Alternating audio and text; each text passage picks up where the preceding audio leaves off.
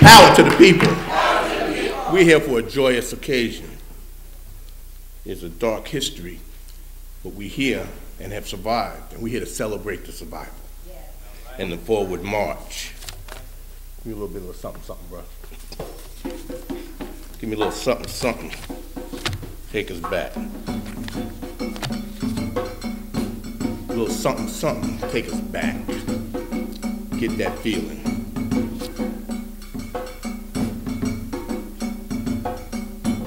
See, I'm good. Follow instructions. Everybody turn off your phone.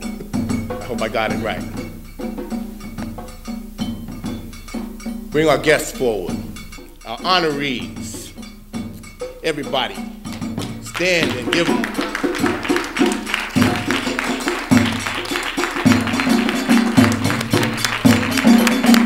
Welcome. It's my favorite councilwoman.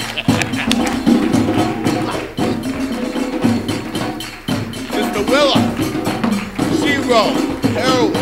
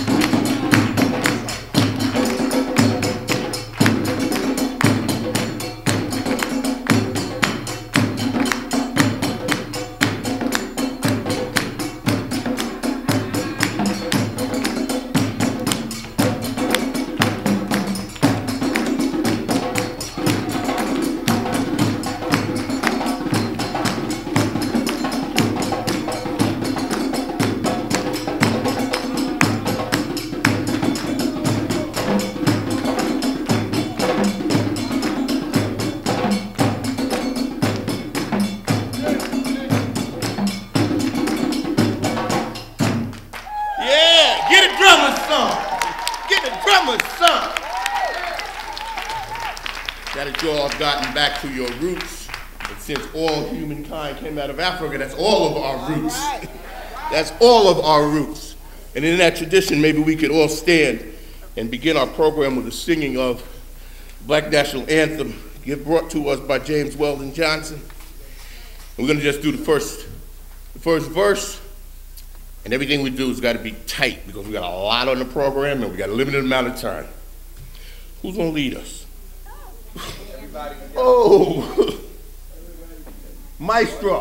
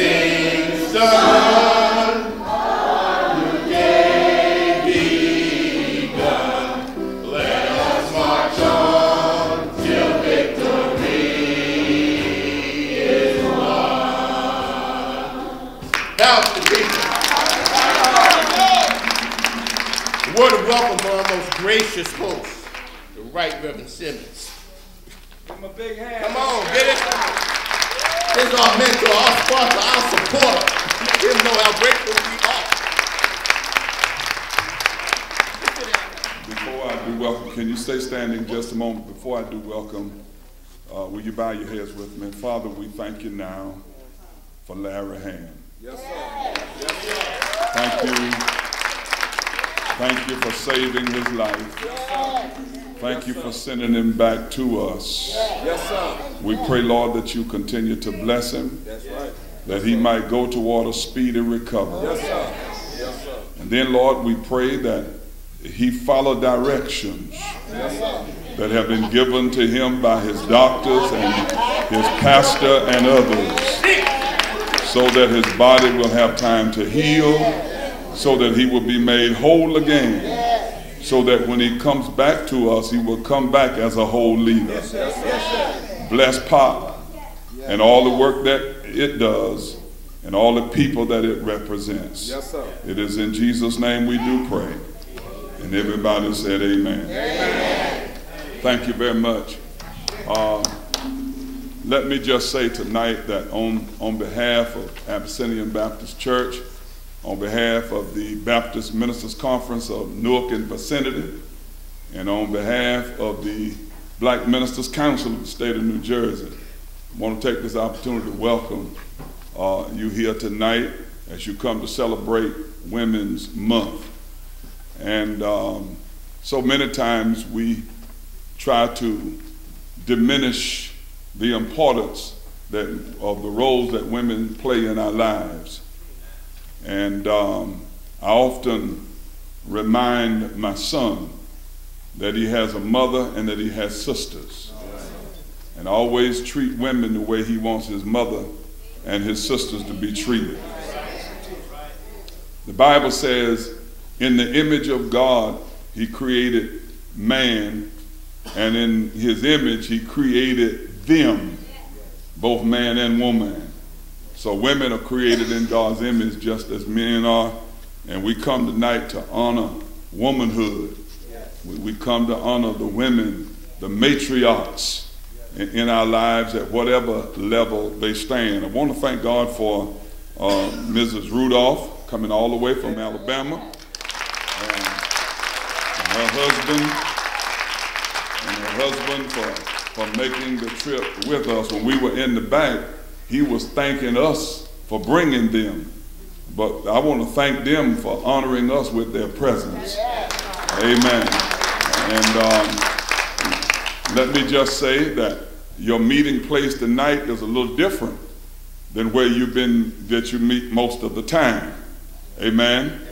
You, you're in the sanctuary. And uh, you ought to know how to behave yourselves in the sanctuary. Uh, Just pretend you're in your mosque or your, you know, your, temple, wherever, and, behave yourselves accordingly. Yes. Because I'm not going to stay with you during the service, and if y'all don't act right, they're not going to say nothing to you, they'll say it to me. And so if you really love me, y'all guard the sanctuary. Amen. Now, I did bring out some water uh, for our president so that he can, you know, uh, make sure he doesn't, you know, get dehydrated. But no food and drink is allowed in the sanctuary. Yes, sir. Okay? So uh, if you want to eat, you know, there are plenty of tables downstairs. Just take your five minute break and go down and eat because I know some of us on medication and we have to eat a little something and take that. And we understand that. And let me just say how important it is that you stay inside here as often as you can because every time you open the door, you know, everything that's said and done in here is heard everywhere. The, the doors are kind of like your buffer, and there's prayer meeting going on in room A, there's choir rehearsal, and the choir gave up this sanctuary so you could be here tonight. And so I want to thank the senior choir, amen, for that. But just know you are always welcome to Abyssinian Baptist Church. And, um, amen, and, um, and, and, and if you want to know how I feel about this organization, I'm a member of this organization.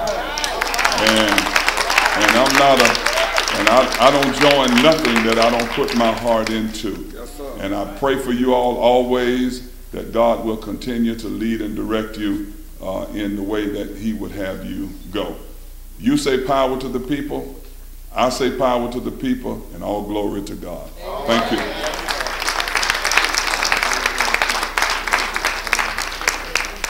Thank you, Reverend Simmons.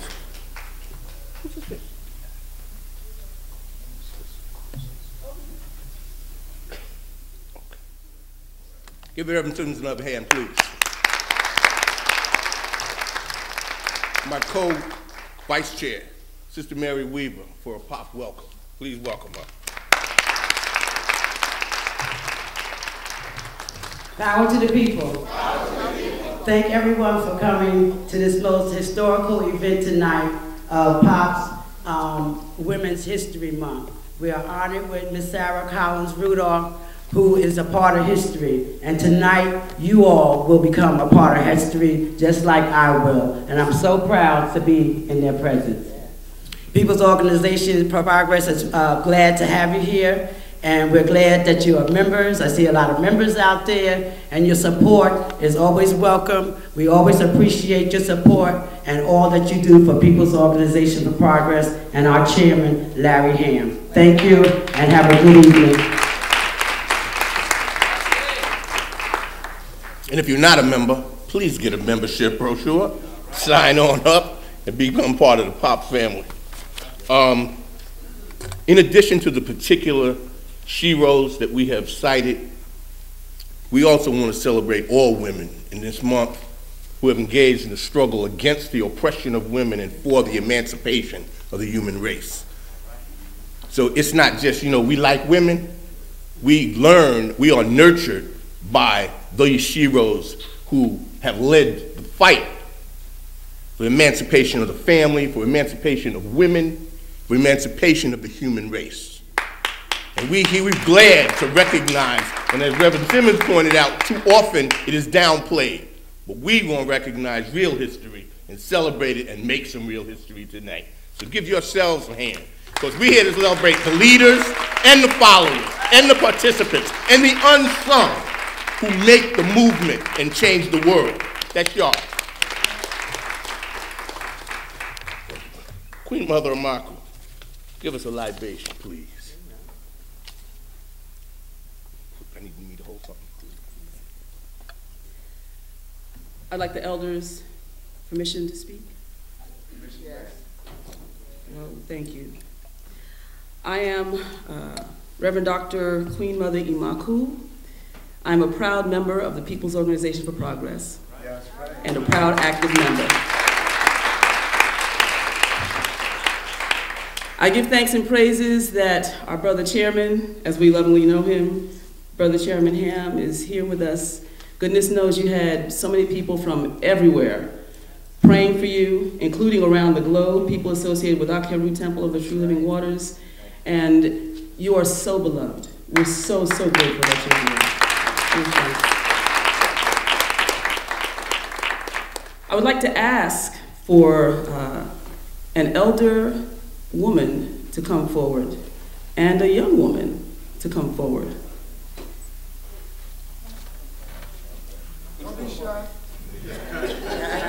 So are we identifying as youth or elder? No, that's I'm playing with you. okay, if you could please hold this. Okay. All right. And. Yes.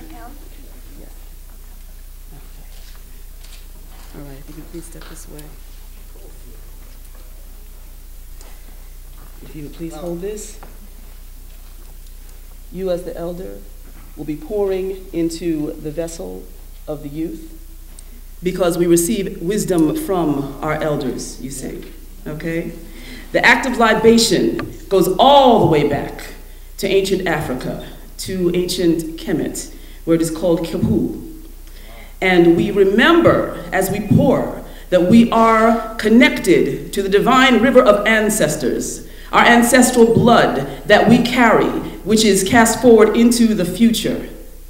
We have the past represented, and today and the future.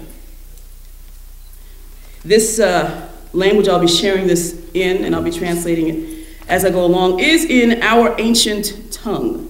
This is no disrespect to the beautiful home here, uh, but this is just a matter of history. Culturally and historically, the Kemetic language uh, and traditions helped to birth the tradition of this house. And uh, the elements live within all of us. We remember the ancestors. Sharer Kebhu Chirchu, ancestor libation prayer. Em Chirchu, to the ancestors. Tegesnu, we follow your footsteps. Duau, many thanks to you. Erchenuku, you give us light. Ernuku, we give you light. We give our ancestors light by our just actions, by the love that we show the community and to family. And as we live righteously, we help to elevate them, and they continue to flow into us with their positive whisperings and guidance.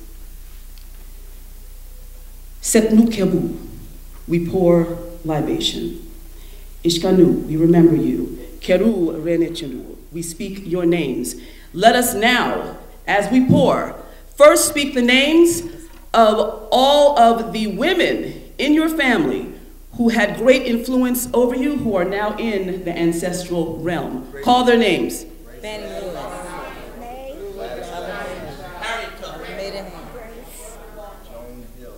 Give thanks. Selma Whitley. Give thanks. And now, because we believe also in balance, call the names of all of the fathers and the men who have had great influence in your lives. Andrew Whitley, Tommy Lloyd, Billy Artis. Give thanks and praises.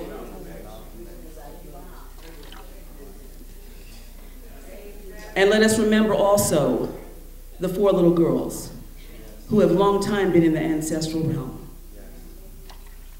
as well as all the others who have sacrificed their lives for the movement. Mernu Hetepu, we wish you peace and blessings. Mernu Sharem, we wish you peace and freedom. Ernu Merea, we give you love. Duau, many thanks to you. Duau, duau, duau.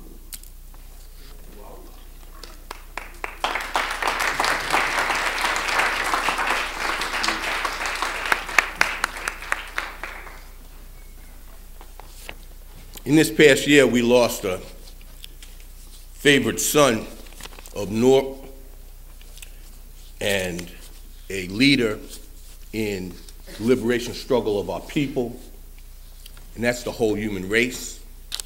But a leader in particular in the struggle for liberation of the oppressed Afro-American people, and that's Comrade Brother Amiri Baraka, who we honor and remember his contributions to our own development and to the advancement of our struggle.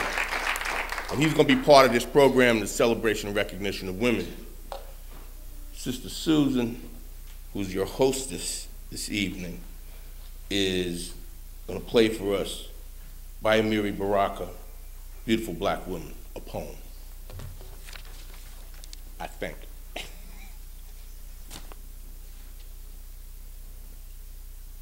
We whistle a few bars, will it?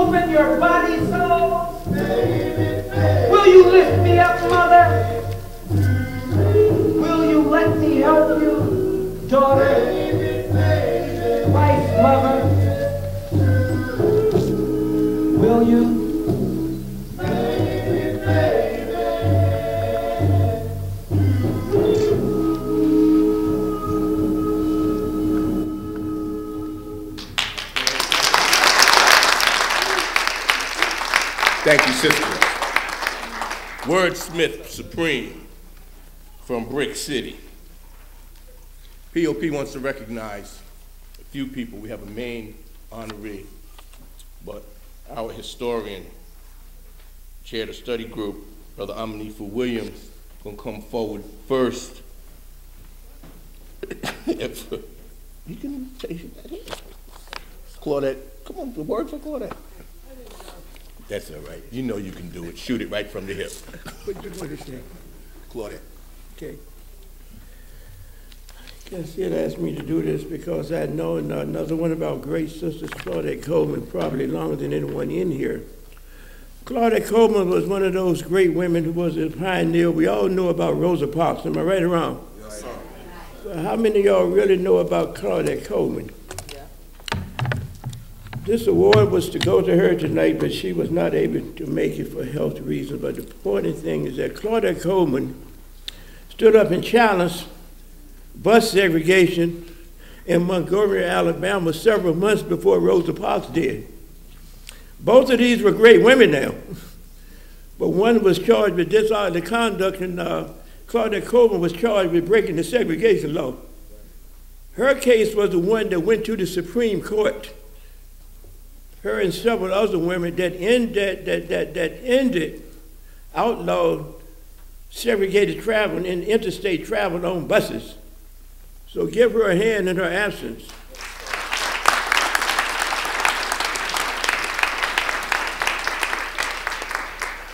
Oftentimes in history, there are many great ones who made contributions, but they were lost in history. Somehow something happened.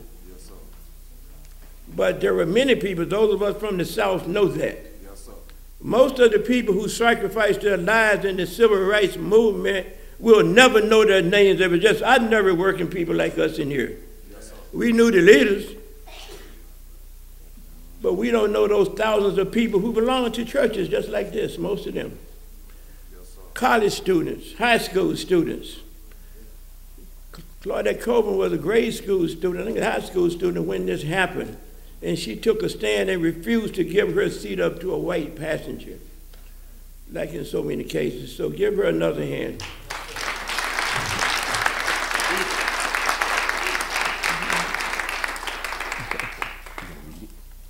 This beautiful plaque is in her honor. People's Organization for Progress Women of the Month. Freedom Fighter Award presented to Claudette Coleman as an African American woman history maker in the recognition of your contribution to the struggle for civil and human rights, for the emancipation of women and the liberation of our people. Power to the people. March 27, 2014. Thank you, Brother Abanipo. Right in this sanctuary, Claudette Colvin said, when the man told her to get up and get her seat, she said she couldn't get up. She said Harriet Tubman was sitting on this shoulder, and so Sojourner Truth was sitting on this shoulder, and she just would not and could not get up because it was, in fact, Negro History Week. And she had the spirit of the ancestors and the sheroes driving her. Let me bring the chairperson of the Newark branch of POP, Sister Joanne Sims, who's going to recognize my favorite council person, Sister Mildred Crump.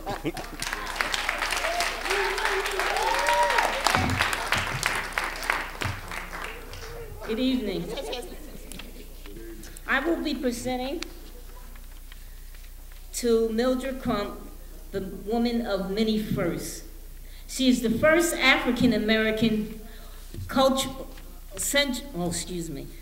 She is the first African American councilwoman sworn July 1st, 1994. She is the first African American female president of the Newark Municipal Council.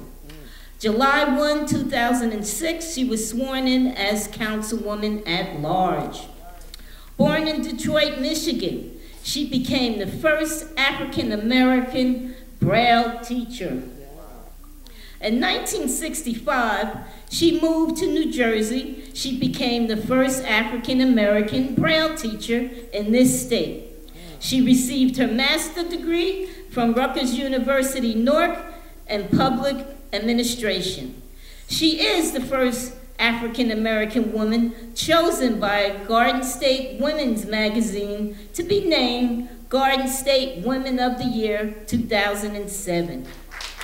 She is the, she is the founder of Newark Women Conference, Inc., an organization whose purpose is to, to promote the empowerment of women in Newark. Um, the conference is a two-day event. It has had more than 6,000 participants of all ages, social and ethnic backgrounds. She received a superhero by being selected as one of eight citizens from New Jersey to have her name inscribed on the Dr. Martin Luther King Monument located in Washington, D.C.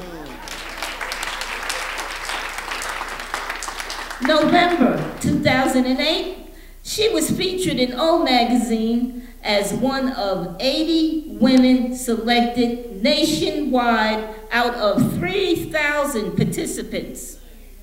Go, Thank girl. she is the host of a local cable television show entitled Straight Talk with Mildred Crump. That's right. also, she has a library in West Ghana named after her. Isn't that great? Ms. Crump retired in 2003 after 42 years as a Braille teacher and education consultant from New Jersey Commission for the Blind and Visible Impaired.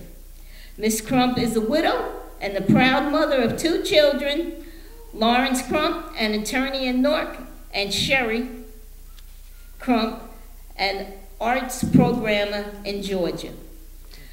I'm presenting this plaque to the Honorable President, Councilwoman at Large, Mildred Crump. oh.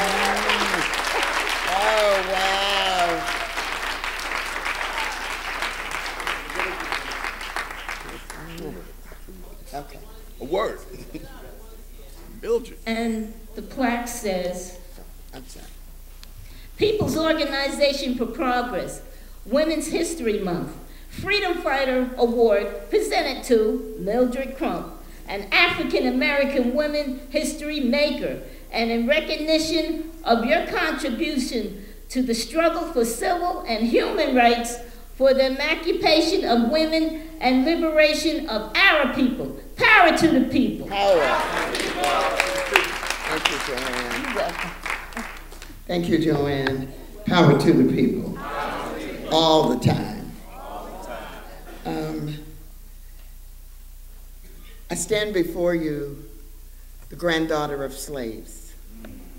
My maternal grandparents were born into slavery in a little town called Cuthbert, Georgia, near the railroad called Albany. Not Albany like we pronounce it up north, but Albany, Georgia. And I learned how to be a freedom fighter from my grandparents. And I accept this award in their honor. When I was asked to call out the names, I never failed to call my grandparents' uh, name because it was the two of them that taught me what I should be about. And so, in honor of George and Lula Johnson, uh, I accept this award. Pop is very dear to me. I'm a, well, how many? 20, at least 25 year member. I pay my dues. I pay my dues. And if I don't, Joanne uh, Sims is knocking on my door saying it's time for you to pay your dues. Let me also do a little protocol and congratulate my fellow honorees on tonight. Um, and to certainly our special visitor, we welcome her to the city of Newark. What would we do without Larry Hamm? I don't know about the rest of you, but the minute I heard, the minute I heard, the minute I heard that he was in an accident, I went on my knees and I said, God, we need him. So give him back to us. And look at what God can do.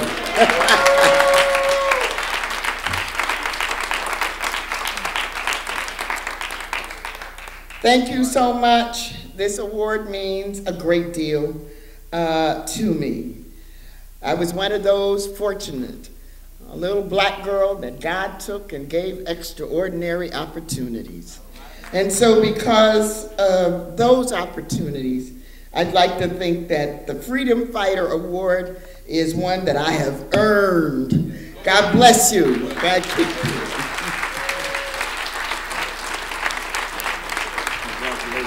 Let us be inspired. All you young sisters out there, hard work and persistence, clarity of vision. You too could be honored as a freedom fighter. Brother Carey, from Elizabeth Branch, POP. James Carey, give him a hand, please. Make a presentation to our beloved sister Theodora Lacey.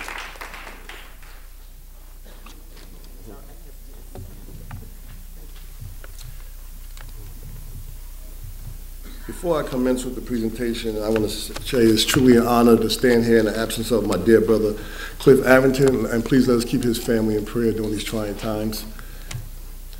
Please indulge me as I read the bio of Theodora Smiley Lacey, civil rights leader, lecturer, and pioneer.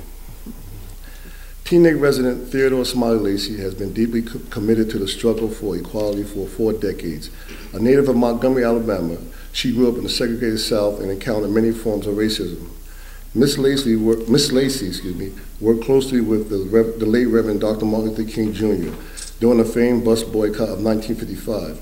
In the summer of 1957, she joined her late husband, Dr. Archie Lacey, traveling throughout the counties of Alabama, researching voter registration and injustices in the political system of Alabama.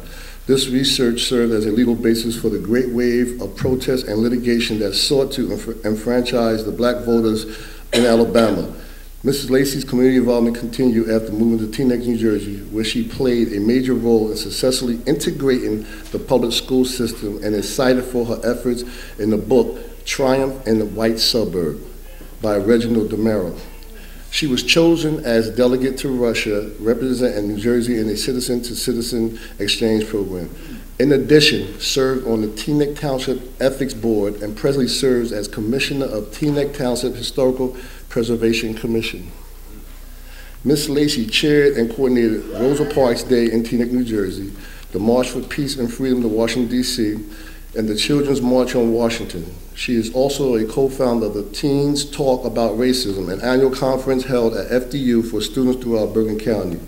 She serves as vice chair of the African American Advisory Board for Bergen County, chair of the Martin Luther King Birthday Observance Committee of Bergen County, and co-chair of the Martin Luther King uh, Committee, a project to erect a life-size statue of Dr. King in Hackensack, New Jersey. Ms. Lacey is the recipient of numerous awards, include a Master Teacher Award from the uh, Teacher Training Institute, Teacher of the Year Award from Teaneck, Outstanding Woman of New Jersey from the New Jersey uh, State Senate, and Most Outstanding Secondary uh, School Teacher from Princeton University.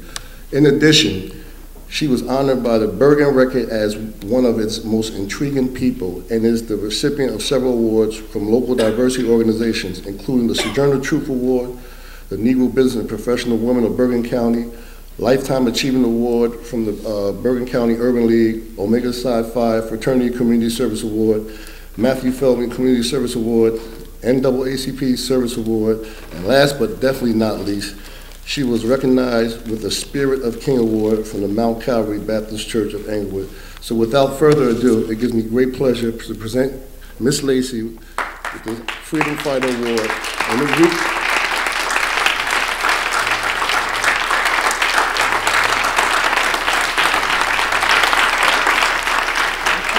and the group then some scriptures read as follow.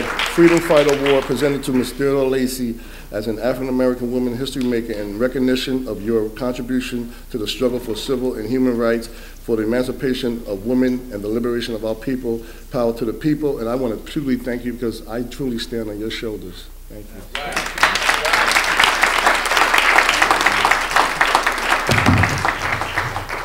Good evening. Good evening. And, and thank you so much for that introduction. But you know, Martin Luther King taught me a long time ago that anybody can be great. That you don't have to have your verbs and subjects agree to be great. All right. That you can be great because you can serve. That's right. And that all you need is a heart full of grace and a soul generated by love. So thank you for giving me the opportunity to serve. I must tell you that I was excited about coming. I'm always excited about coming here. This is uh, my second or third visit. I've been my third visit with you. But I must tell you a little story. What excited my heart so tonight was seeing Larry Hamm sing here. We go back, we go back a very, very long way. My daughter and Larry attended college together.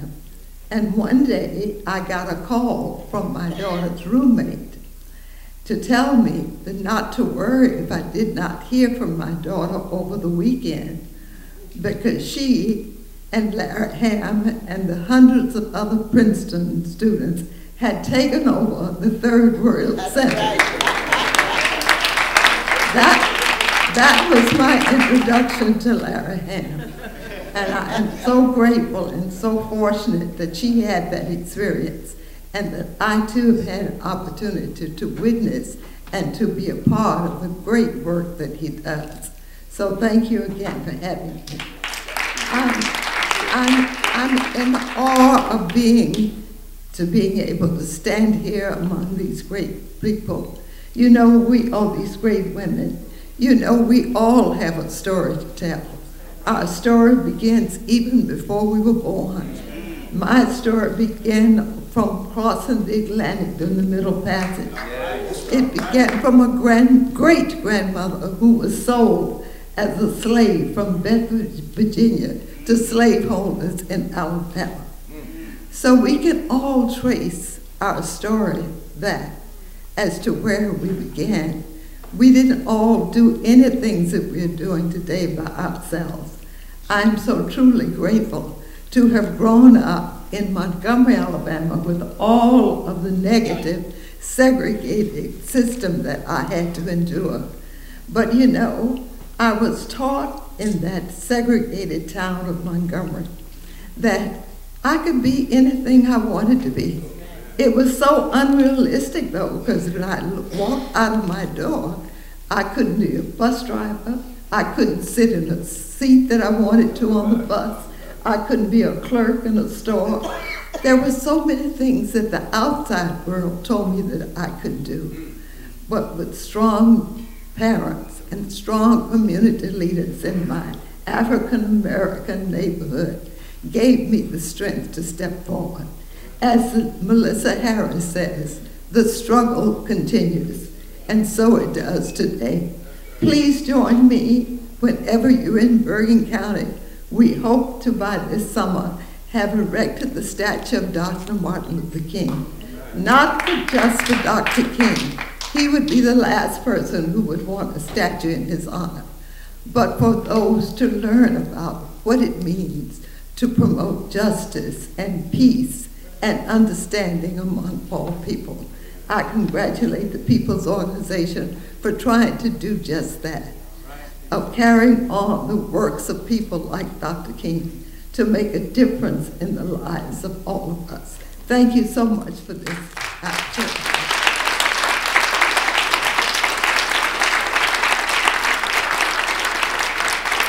I don't know if y'all heard James Carey with his personal comment to Sister Lacey. But he stole my line, which I think is great minds thinking alike. And that is that we truly stand on the shoulders of giants. And sometimes people think of giant as a male gender.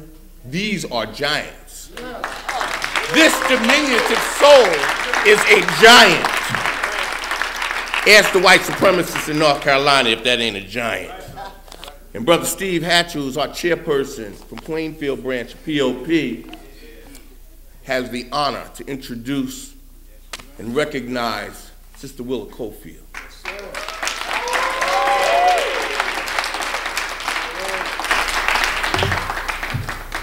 Thank you, brother. Well, first I'd like to say it's an honor that for you to ask me to do this because I met Dr. Cofield some 10 years ago um, when we started the Plainfield branch of the People's Organization for Progress.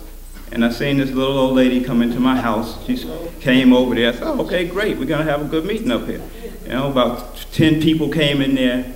And I will never forget, brothers and sisters, the, the love and the respect that I get from Dr. Cofield. See, I don't have a, obit- I mean, a, a, a, bio to read about Dr. Cofield. So I come and speak from my heart. Just about how good she is and what she's done for me because through Dr. Cofield, I'm really five foot four, but I feel like I'm 10 feet tall sometimes because sometimes it's the work that she does that she allows me to do. And you know how there's sometimes you're talking to, person, to people, but she always knows the right things to say to me to make me feel good about me, you know, about little old me, five feet four inches tall. But I feel like a giant sometimes. So Dr. Cofield has done some amazing work since she's been here in the People's Organization for Progress. One time we were marching in Plainfield and we were marching on the streets and we didn't have a permit. A lot of the other women stayed back at the Quaker Meeting House. That's where we were going to march to. They stayed there. But Dr. Cofield didn't do that. She came out there and marched with us, even though we may have been arrested, even though they were threatening us that something could happen but she was right there with us every step of the way. So I like to just read this to her. Uh, People's Organization for Progress Women's History Month Freedom Fighter Award presented to Willa Cofield, an African American woman history maker, and, and, and in recognition of your contributions to the struggle for civil and human rights, for the emancipation of women and the liberation of our people. Power to the people, March 27th, 2014. Thank you, Dr. Thank.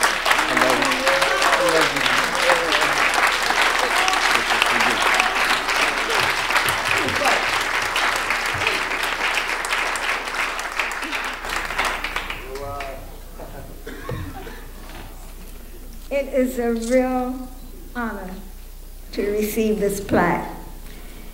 It is a real honor to be recognized by people that you know, that people that you love, that people that you have such deep respect for. The People's Organization for Progress is the best run, the best organized group of freedom fighters that I've ever encountered.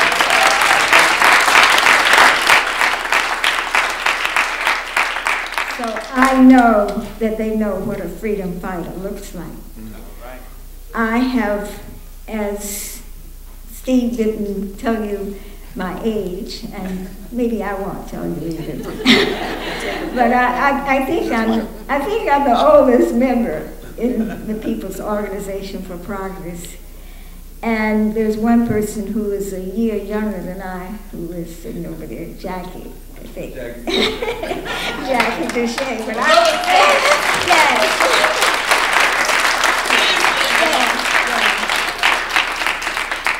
And I, I love the idea of being called a freedom fighter because it puts me in the class with people like Ella Baker. Yes. And Ella, Ella Baker was from the same county that I'm from, but I didn't know that until I was almost middle age.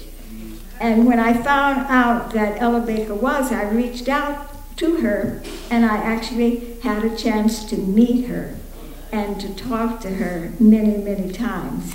So thank you for putting me in that category.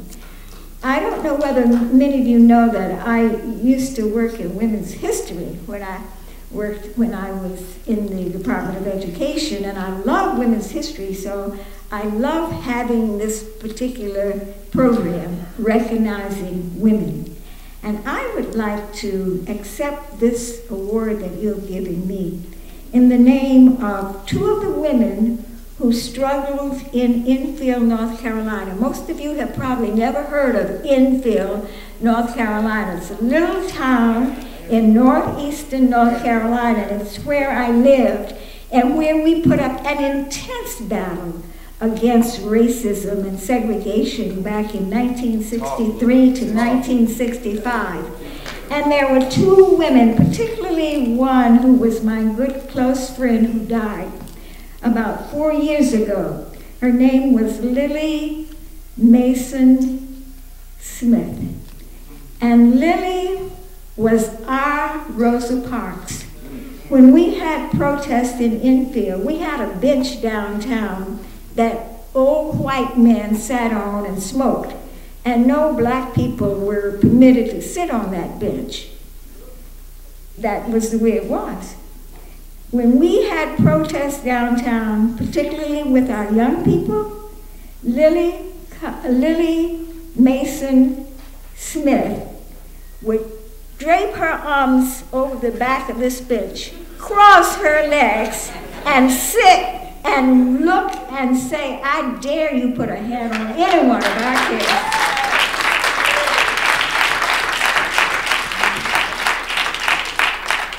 The other person actually lives across, oh, somewhere near uh, West Kinney, uh, East Kinney, across Broad Street. Her name is Doris Daniels.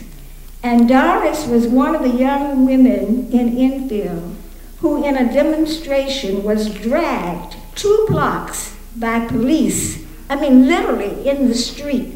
She bears the scars on her knees to this day and thrown into jail. So I would like to remember those two young women. The other women that I want to point to are the women of POP, the women of the People's Organization for Progress, are the backbone of this organization, who work so hard.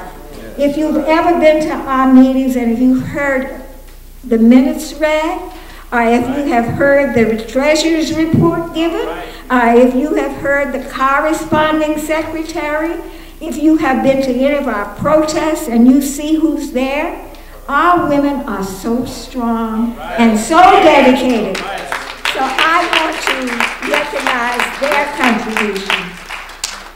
The last group I want to accept this award in their name is just our black women who keep the world, keep the skies from falling.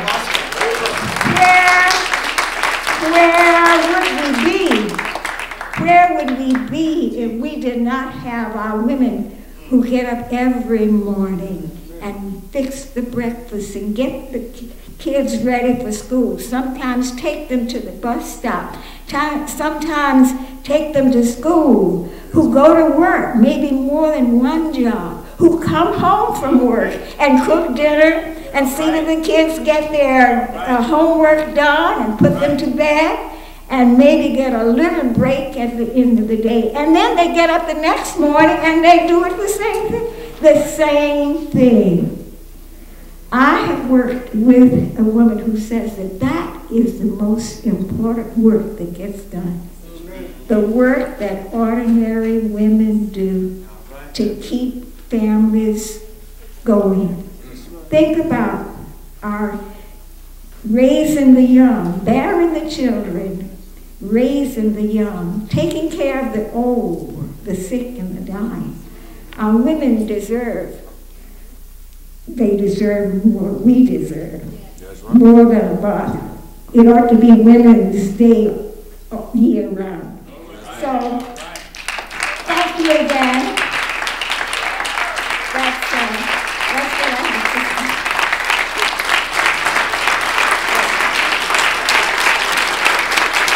Long live the spirit of resistance of Enfield, North Carolina,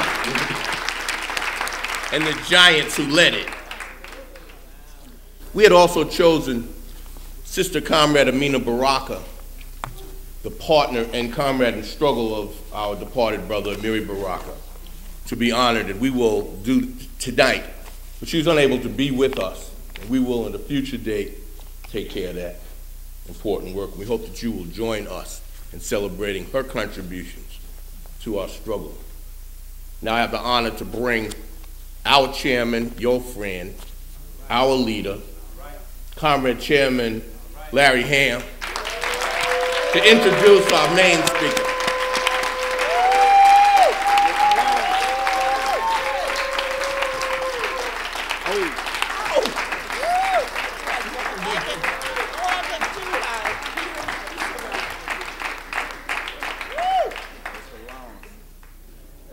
Power to the people. Power to the people. Power to the people. Power to the people. What do we want? Justice. When do we want it? Now. What do we want? Justice. When do we want it? Now. No justice. No peace. no justice. No peace. If there ain't gonna be no justice, ain't gonna be no peace. thank you, brothers and sisters. I'm very glad. I thank God that I'm able to stand here with you tonight.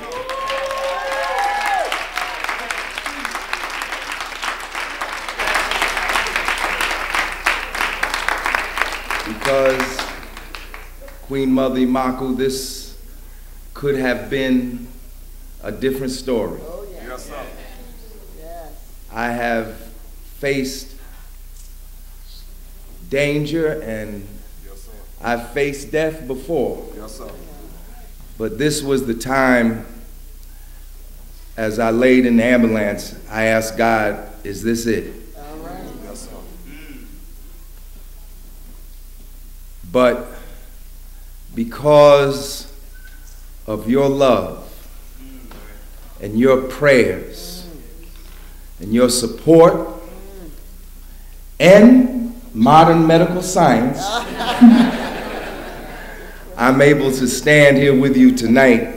Yes, sir. And unless you think this is all drama, when I went into University Hospital, I had 17 broken ribs, a broken arm, a collapsed right lung, a hematoma on my left lung, a lacerated liver, and a punctured spleen.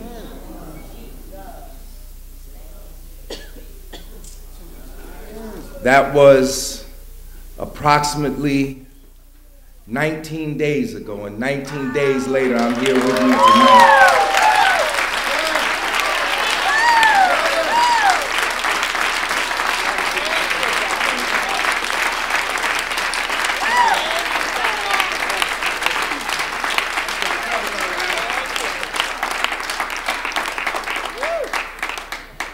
Yes, sir, Mr. Long. I I wasn't in the hospital two days before the cards and the flowers and the staff in the hospital will say, Who are you? I'm not making this up. Nurse walked in there, Who are you? Yes, sir. Yes, sir. I'm just Larry. I don't know who was there that day. The visitors started coming the second day and they never stopped Yes, until I left. Each morning, the nurse would come in with a handful of get well cards. Yes. One day, another white man walked in the room. I thought he was another white doctor. Yes. He came over to me, said hello. I said hello.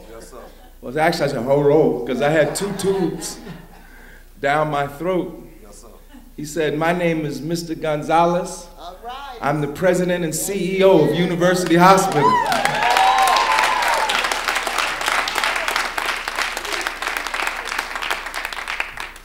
He said, I want to make sure you're getting all the care that this hospital can give. And then I thought to myself, I said, it's good to be the chairman of the People's Organization for Progress.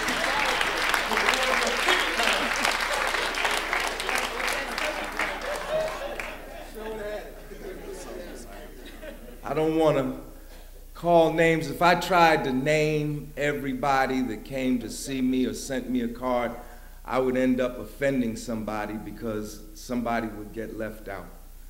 I just want you to know that I love you too. I love you too with all my heart and with all my soul, with all my mind.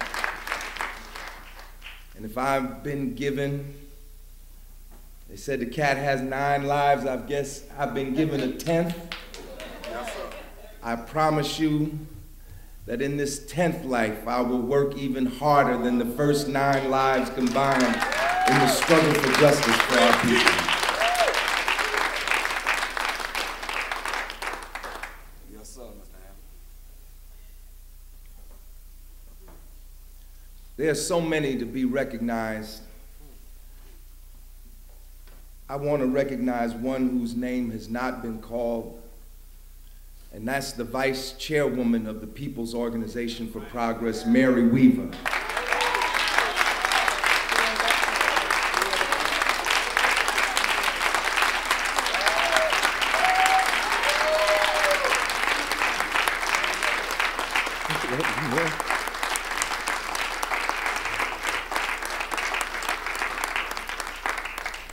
Why do I call on Mary Weaver? Not simply because she's the most outstanding Secretary General we've ever had, but Mary Weaver is the embodiment of the spirit of the People's Organization for Progress. When we met Mary Weaver in 1999, shortly after the death of Earl Faison, you know, that year, 99, was a banner year for police brutality. February 4th, 1999, Amadou Diallo was murdered. And then four months after that, here in Essex County in Orange, New Jersey, Earl Faison died in what the U.S. Attorney said was a stairwell of torture. And then later on, a young man died at the hands of the East Orange police. And that young man's name was Randy Weaver. Yes, sir. And his mother, Mary Weaver, came to our meeting. She didn't even ask for help the first time she came. She just came, sat quietly in the back of the room, and shortly thereafter joined the People's Organization for Progress. She didn't give, get up and make a big speech like many should and righteously so could have about the death of her son. What she did, she took her grief and she turned it into strength to make her an organizer for justice not only for her son, but for all the sons that have been victims of police brutality.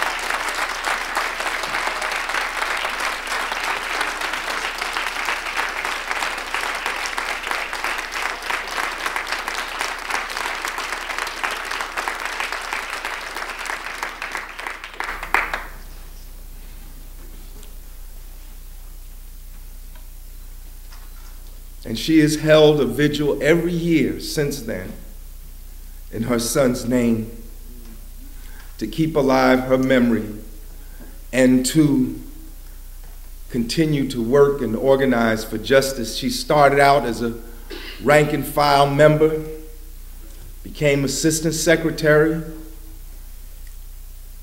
secretary general, that is, statewide secretary of the central organization and of all branches. And just two years ago, she was elected vice chairwoman of the People's Organization for Progress. And she got more votes than I did as chairman. So I thank you, Mary Weaver.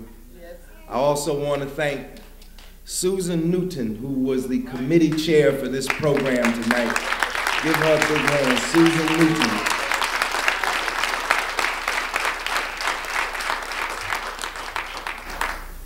And I see some other guests. Please forgive me if I don't recognize everybody. I am a disciplined member of the People's Organization for Progress, and I know my time here is limited, but I would be less than the freedom fighter I purport to be if I, if I did not recognize this other great freedom fighter that's with, here to, that's with us here tonight, who has been campaigning for the freedom of our, one of our greatest political prisoners, Mumia Abu Jamal, Sister Pam Africa. Sister Pam Africa is here tonight. Give Sister Pam Africa, give her a big hand.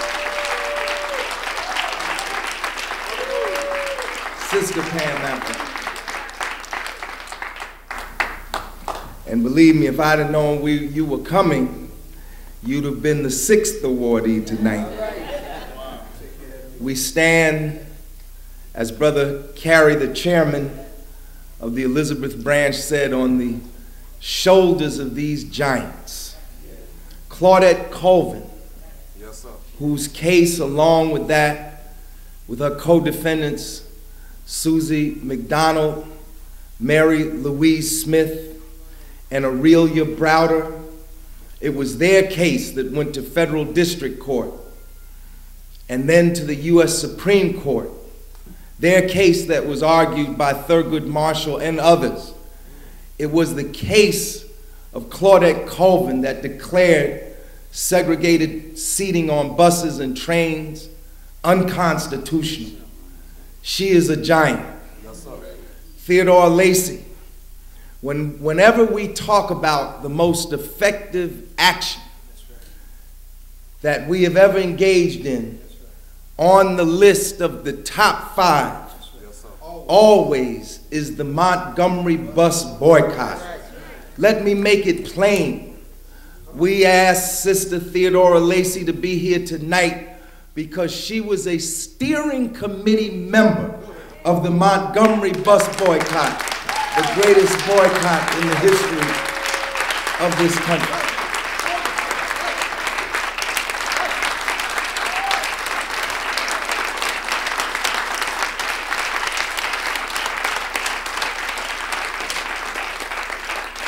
We're in the room with giants, freedom fighters. You don't have to look abroad. You don't have to look at Asia, Africa, and Latin America. We got freedom fighters right here in our midst today.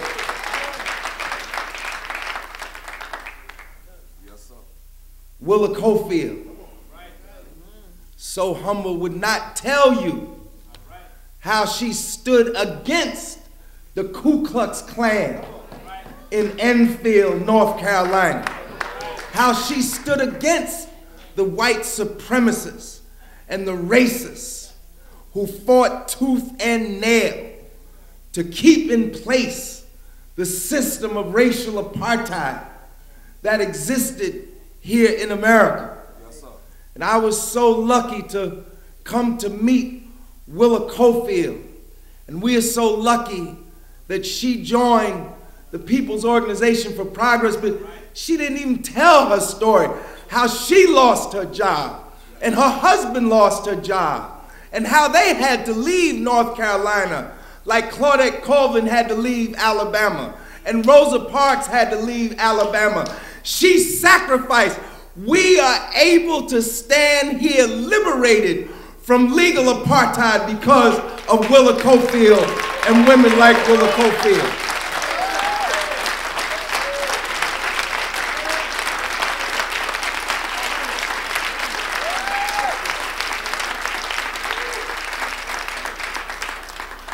Yes, sir, Mr. Hamm. I was listening to a program I like. Maybe you listened to it too. A program called Democracy Now! Yes. And I was listening last year, it was in the summertime. Yes. I don't know what the occasion was, but the guest at that time was a lady named Sarah Collins Rudolph. And I was like, who is this? who is Sarah Collins Rudolph? And then I thought for a minute about the name Collins. Yes. Where had I heard that name before? Yes, sir. Back in 1987, when I was working for the Commission for Racial Justice of the United Church of Christ as director of the National Community Organization Program under the leadership of the Reverend Ben Chavis. In 1987, we went on a symbolic freedom ride to visit all the places, the points of challenge where black people confronted the racists and the terrorists. We hear a lot about terrorists. Black people in America know more about terrorism than any talk show pundits. We've been the victim of racial terror in this country. And one of the places that we visited in 1987, and what they called the Black Belt of Alabama, was a church called the 16th Street Baptist Church. And we went into that church and we were given a tour. And the tour guide was the father of Deborah McNair. Deborah McNair was one of the four girls that died when that church was bombed by the Ku Klux Klan. Yes, sir. Why did they bomb that church? Because that church, like Abyssinian Baptist Church, was not just a place for symbolic ritual and symbolic worship. Yes, sir. It, in fact, was a citadel for spiritual renewal, but it was also the center for community organizing against racism in Birmingham, Alabama. Yes, sir. And I learned as I looked at the plaque that was on the wall that one of those four girls that was killed was Addie Mae Collins. And I thought, Sarah Collins, Addie Mae Collins. And then Amy Goodman went on to say that Sarah Collins Rudolph was the sister of Addie Mae Collins. And I said the same thing then that I said when I had heard Claudette Cole. I said, we got to bring Sarah Collins Rudolph to Newark, New Jersey. So our people could see real living history. So we've flown her up here tonight. her and her husband. And before I introduce her, I'd like her husband George to come up and give us greetings from the people of Birmingham, Alabama.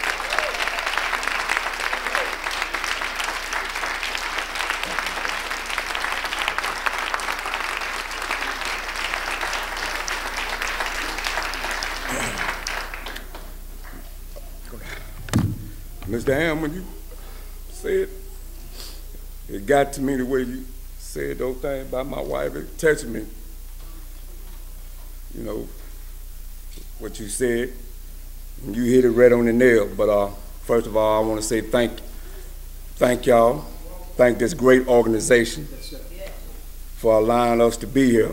My wife, Sarah, me. I really appreciate y'all, sir. It really touched me. And uh, I just want to say thank you. I love y'all. I'm a member. I'm a member.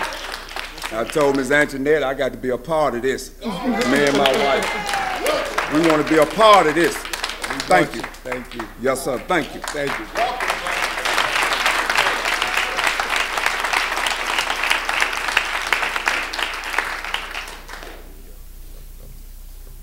Now, brothers and sisters,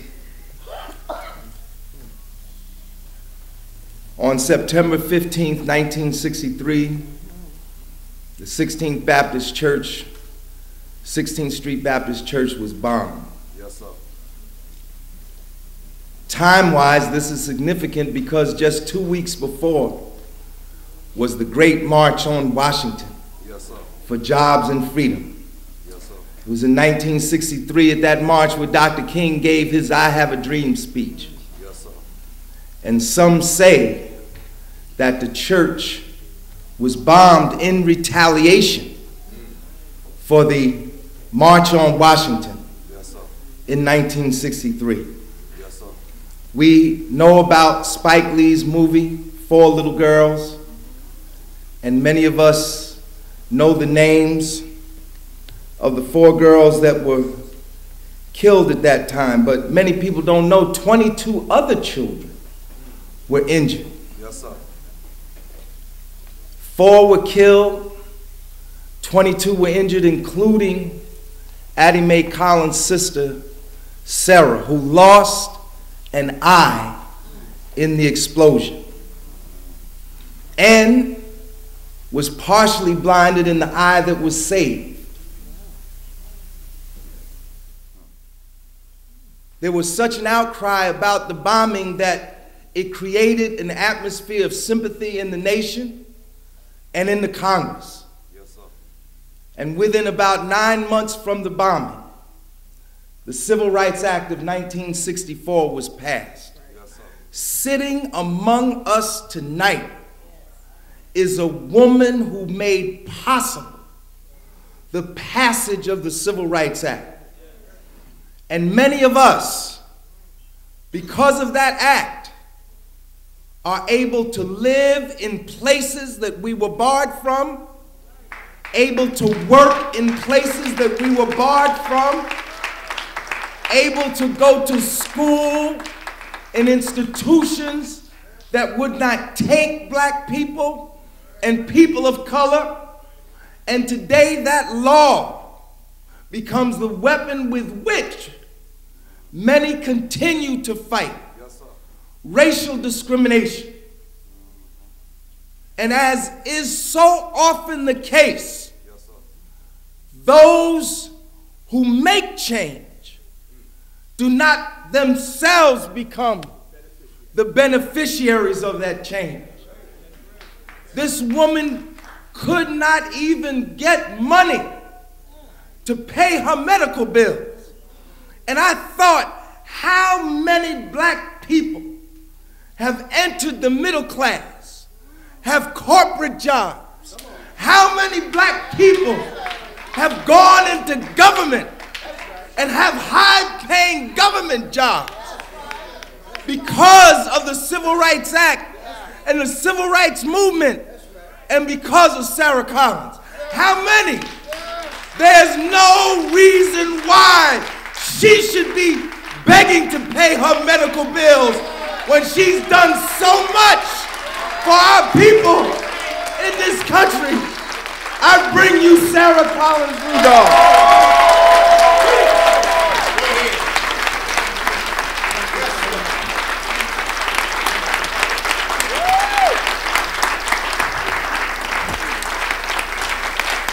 Thank you so much. Thank you. Thank you, Mr. Hamm. I just want to thank everybody that brought us here to New Jersey. Everybody been wonderful. And I love you all. And I thank you all. And Mr. Hamm, you about to make me cry. All that. I didn't know, I didn't know I did all that, but I just thank, thank you, thank you so much. You just, I never heard it like that before, really. Thank you so much. God bless you, and I'm so glad you invited us here. And uh, I know I hadn't heard from you, you know, since you had invited us. I didn't know you was in the hospital, so I just thank God that you're here among us. Thank you so much.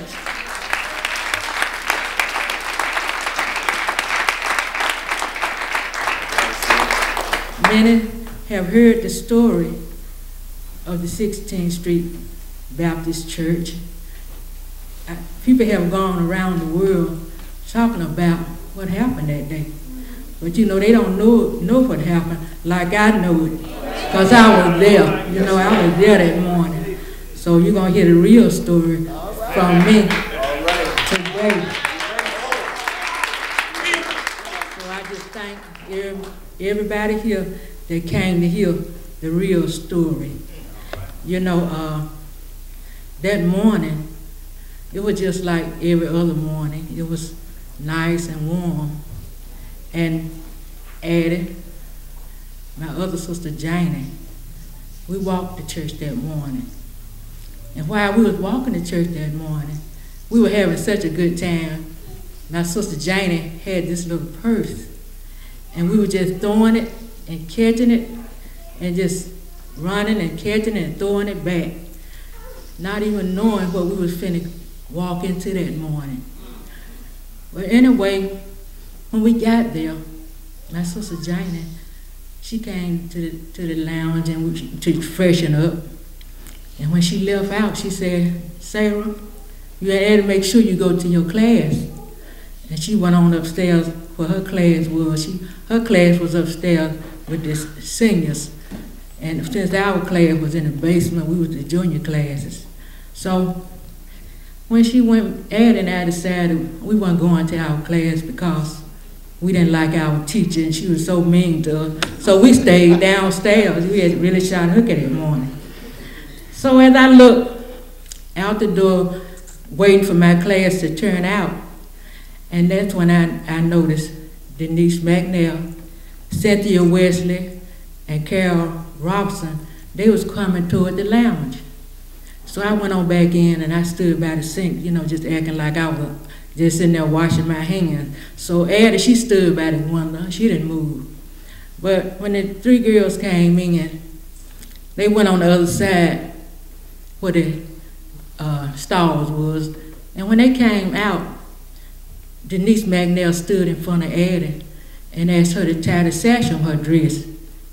And while I was looking toward her to tie the sash, we all stood there waiting, but we never did see her tied. That's when the bomb went off. Boom! And all I could say was Jesus, because it was such a loud sound, and it just scared me, just shook me up. And then I began to call Addie, because I, I couldn't see. I didn't know what had happened, because the debris was in my eyes, you know, glass. And I said, Addie, Addie, Addie. And she didn't say anything. So by me, by I couldn't see anything. I thought maybe they had went over where the classroom ran in there where the classroom was. So uh, all of a sudden I heard this sound. Somebody said, somebody bombed the 16th Street Church. And the voice was so uh, clear to me. It was as though this person was right there. But what had happened, it blew a hole right into the side window where they were standing. And when it blew that hole in the, in the church, this man came straight through the hole and he got me out. He just picked me up in his arm and carried me out and put it put me in the ambulance. And uh, they rushed me on over to uh, Hillman Hospital. It was Hillman at that time, but they changed it now to University. And they put me on the cot because they said the eye doctor wasn't there. So while I was on the laying there on the cot, Janie came in and I asked her what was Addie. And she said that Addie had hurt her back. I guess she said that because she didn't want me to get upset. So I didn't say anything. And she said that Addie will be here to see me tomorrow. So they rushed me on upstairs to operate on my eyes. I had had so many pieces of glasses about, the doctor had said that, I had about 22 pieces of glasses in, in my eye, and it was, uh, and that included my face also. But anyway, when they got through operating on me, I went on upstairs to my room, and that's when uh, my mother began to tell me that uh, Addie, all the girls was killed. And uh, I didn't see anything, but I just couldn't sleep at all. Just wondering, why did they kill Ed and those, you know, the other girls? I said, cause, you know, they didn't do anything, you know, be killed like that. But, you know, I was 12, I really didn't understand, you know, what was really going on. But anyway, I stayed there in the hospital about, I say about a month or so, and when I, when they uh, began to take the bandage off my eye, the doctor asked me, what do I see out of my left eye? I said, I see a little light. And then he asked me, what do I see out of my right eye? So I told him I can't see anything. So I was uh, totally blind at my right eye after the bombing. So I remember I didn't get a chance to even go to the girl's funeral. And when I was released from the hospital, you know, during that time, they didn't, they didn't give you any kind of counseling. So I just had to go back to school in that bad condition. You know, I was, had, I was nervous. I had a lot of fear in me. And uh, I would hear that sound, just still hear that loud sound. Boom. It, was such a loud sound. I was surprised that I didn't lose my hearing. It was just something like a I imagine something like an atomic bomb. I don't know how many sticks of dynamite they put under that church, but it was a very, very loud noise. So anyway, I was released, and I just had to go to the uh, back to school. I stayed home at least about a week, and I had to go right back to school without any counseling. People, people looked like they just weren't concerned, and people didn't talk about that bombing much. It was just a quiet thing. I, I don't know why it was so quiet, but I know it made a lot of people leave Birmingham, Alabama. You know, a lot of my uh, uh, friends in school, they left going up north. But we stayed. We stayed in Birmingham. And our church was, was service was at the LR Hall until it was rebuilt. And about a year or so, they we went back, and I think being there, I, I was there at least about a week or two because I know my mother. She seen how I was reacting. I was still fearful and nervous, so she decided to leave 16th Street Baptist Church, and I was so glad because I didn't want to be in there anymore in, in that condition. I wasn't comfortable in there, and I was sit sit in there like a zombie because I was just a, so fearful, you know, just thinking another bomb would go off in that church. But anyway, I went on back to school in that condition. But before my uh, doctor had told my mother to bring me back that February because they was gonna have to remove my right eye. Because if they didn't remove my right eye, I would go blind in my left eye. So I stayed out of school during that process, maybe about a week. And then I had to come back to school in, in, in such a bad condition till I really didn't want to be there. And my grades had dropped. And I was so glad that it was almost time to go to this high school, Parker High School, because I figure the people at Parker High School wouldn't know that I was in a bombing. But I asked my husband later, he graduated with me, and I asked him, did they know that I was in a bombing? He said, yes. He said, everybody knew it at high school. but anyway, they treat me any different. You know, you know, some kids would probably say a few words or say, you know, but I didn't feel like they were. But after I, you know, asked him and I, I found out, I, I was, uh, I was, uh, you know, really glad to leave. The children asked me, uh, did, was I going to college? And I told him, no. I said, I ain't going to college. I said, it's just a blessing to get, get away from, graduate from high school. And I wasn't in, really in a fit, fix to go. But I stayed uh, uh, busy. After high school, I got a job working in plants because I was so disfigured. My face was so disfigured. Till I just really didn't want to be around people in my condition.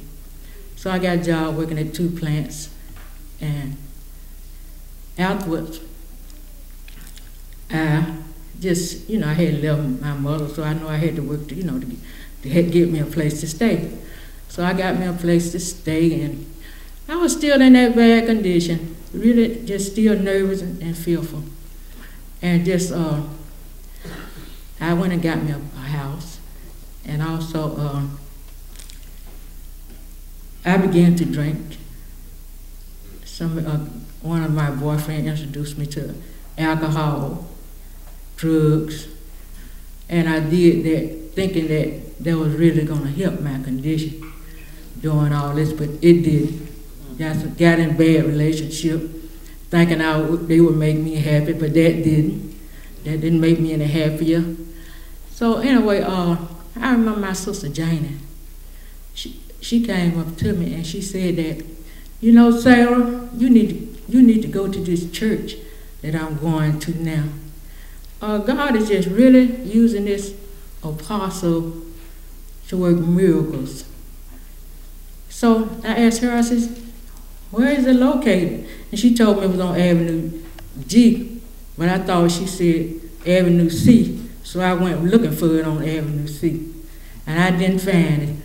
And I know the deal was glad. But anyway, I asked her, I asked her that uh, I was look I said I look I was looking for the church, but I didn't find it. And she said, Where did you go? I said, I went on Avenue C. She said, I didn't say that. I said Avenue G. And I asked her, I said, Are you going tonight? She said, Yes. So I decided I would go that night. Well, I said, I told her, I said, Well, I'll be coming over to your house to make sure I go to your church, what you, you know, the church she was talking about.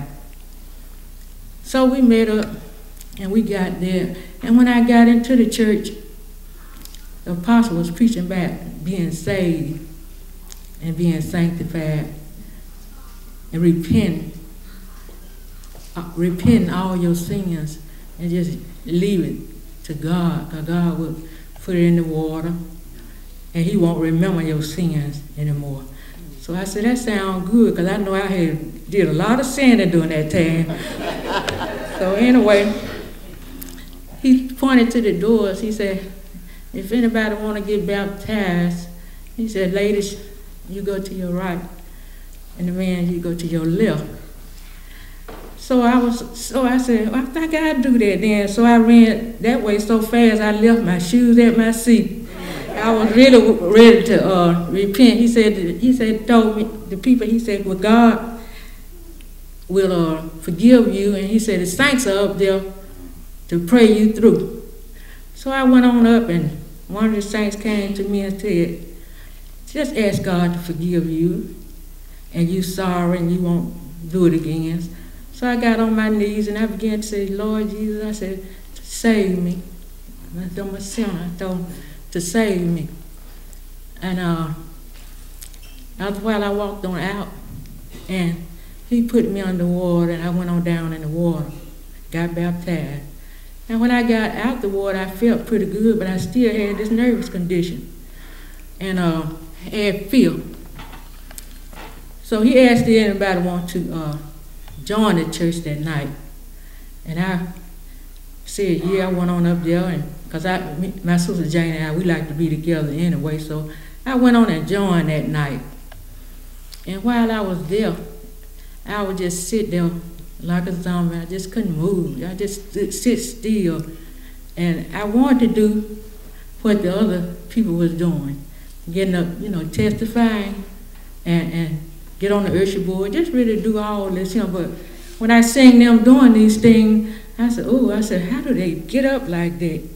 I said, they really are bold, you know, getting up, t- talking to God and testifying and just singing and all this. And I just wanted to do this, this too. So then I was just sitting there real close to the front of the church. And he looked at me and he said, You. He pointed his finger at me. He said, You, come here. So I went on up there and, and uh, he said, Raise your hand up like this. And I raised my hand up. And he began to pray. He said, You know what? God showed me that you have a nervous condition. And also you suffer from fear. And I said, just like that. And he said, tonight is your night. God is going to heal you tonight. So I went on out there and he began to pray and lay his hand on my head like that and talking to God. And I hit the floor. You know, you've probably seen those people hit the floor. so I hit the floor. And, and when I got back up, I was so amazed. I, when, when he prayed, I thought, I got on the usher board. and I went up there and I was the devotion leader. And also I went up there to sing a song one day. And I, I couldn't even carry a tune, but I went up there, I went up there and I sang that song. And God really healed me. He healed me of, he even healed me of my a disfigured face. He didn't do it that night. I was at one of his tent meetings. And he told me to come up there. He said, You know what? Your face is disfigured, but God is going to show me. God is going to heal you tonight. Because my face wasn't nothing like it is now. It was full of, like I said, my face was, I had about 22 pieces of glass in my face. Thank you.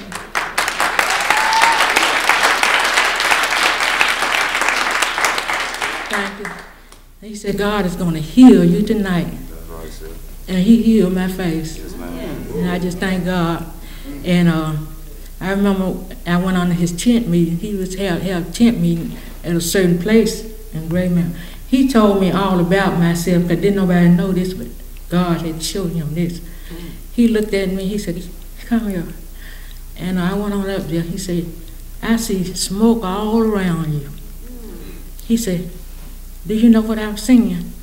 And I said, he said, God showed me that you're supposed to be dead. Oh. But you know what? A is supposed to fell on you. But God sent his angel to catch it. And I know that had to be God because I never did tell anybody about my background. And I know didn't nobody tell them. And that day, I know when I call on God, God spared my life because I wouldn't be here today.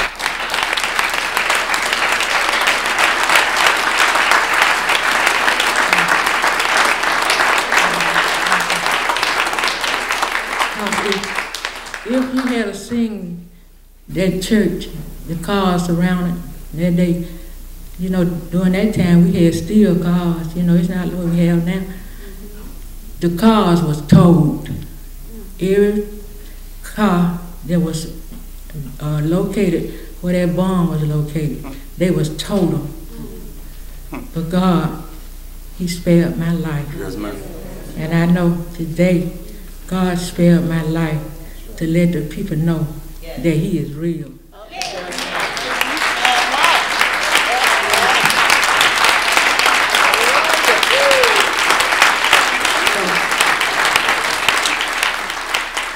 I always, I always lead this to everybody.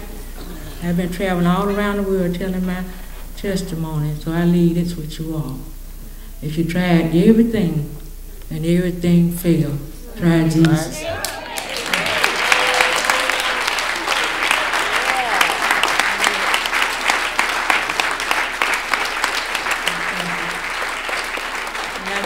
say this. Uh, I know my hood was kept telling everybody about. He told me tell the people about my sister remain uh, missing. So uh, we wanted to move my sister to a new, new uh, into a mausoleum. But when we went to, to exhume her body, her remain, she wasn't in it. It was someone that had dentures, and my sister didn't have any dentures. So please pray that we will locate her because we're still thinking about moving her into a mausoleum. Thank you.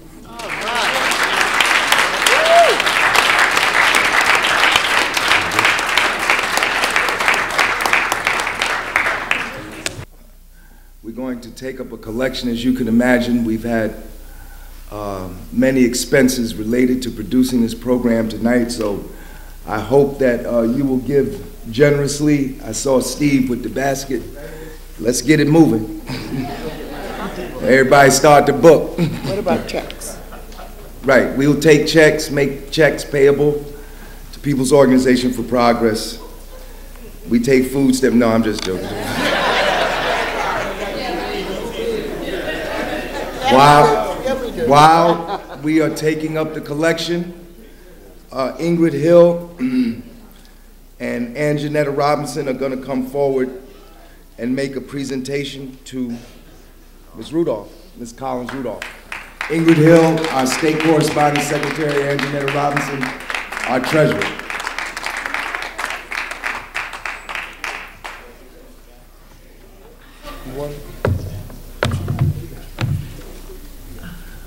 No words can express the appreciation that we have for Sister Sarah Collins Rudolph. Um,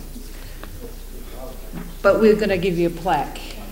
Um, The People's Organization for Progress Women's History Month presents the Freedom Fighter Award presented to Sarah Collins Rudolph, survivor of the bombing of the 16th Street Baptist Church, Birmingham, Alabama in 1963, in honor of your contribution to the civil rights movement and passage of the Civil Rights Act of 1964, in recognition of you, your sister, fallen companions, and your living testimony in resistance to racist terror, we salute you for your strength, courage, commitment, and being a beacon of hope for a better world. Power to the people. March 27th, 2014, Sister Sarah. What can we say? Thank you so much. And then Anjanetta's going to give you something. I want to thank everybody that gave me this beautiful plaque. Thank you so very much. I just love everyone, and I hope that God will bless all of you. And I would love to see you again, and I love the city. And thank you, and God bless you. Thank you so much. Stay right here.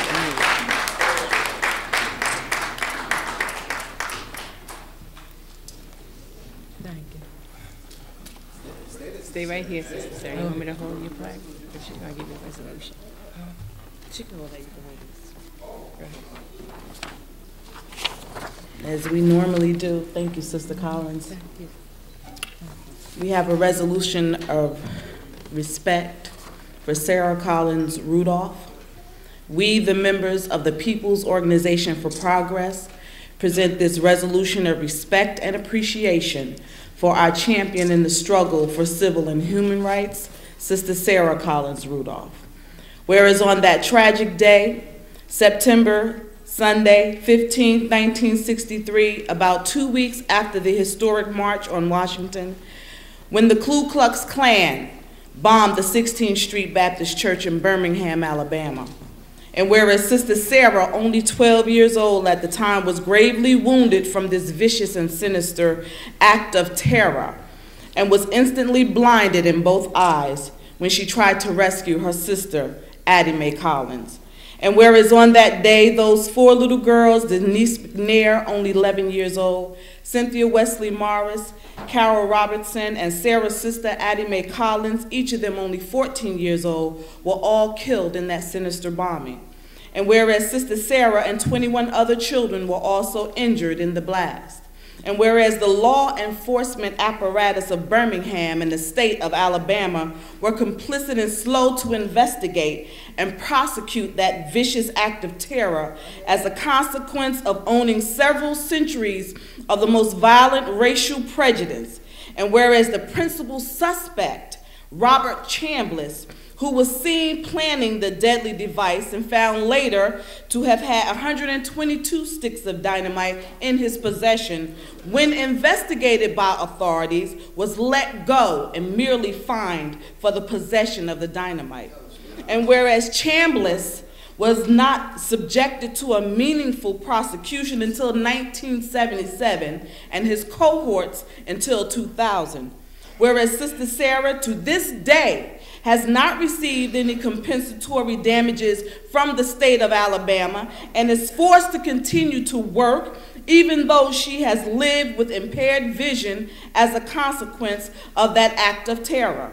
And whereas the quest for those compensatory damages are now the subject of a nationwide petition drive that we all should support, see, sign, and share on petition.org. Whereas the People's Organization for Progress, along with other forces of goodwill, will continue to support all efforts to secure those proper compensatory damages for Sister Sarah in the interest of justice.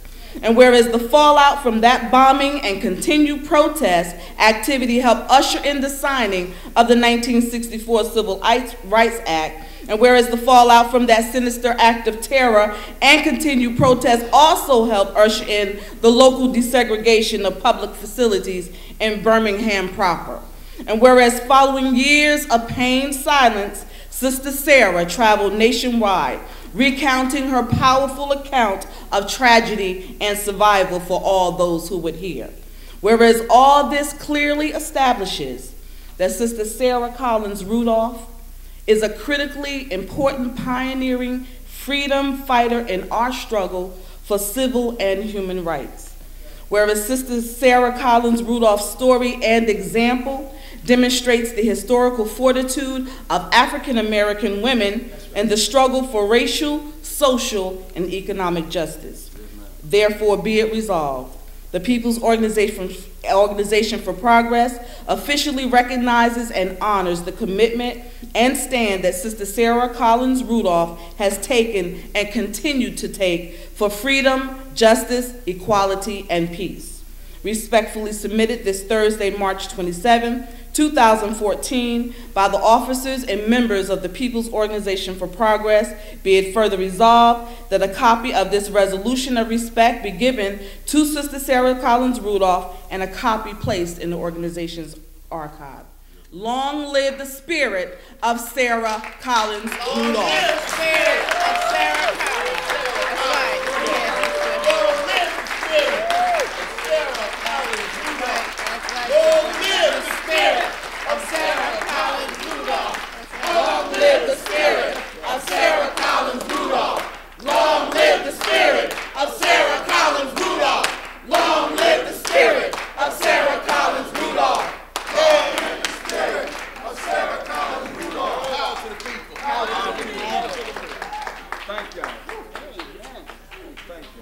Never forget four little girls. Never forget four little girls. Never forget four little girls. Never forget four little girls. Never forget four little girls. Never forget four little girls. And always remember the fifth.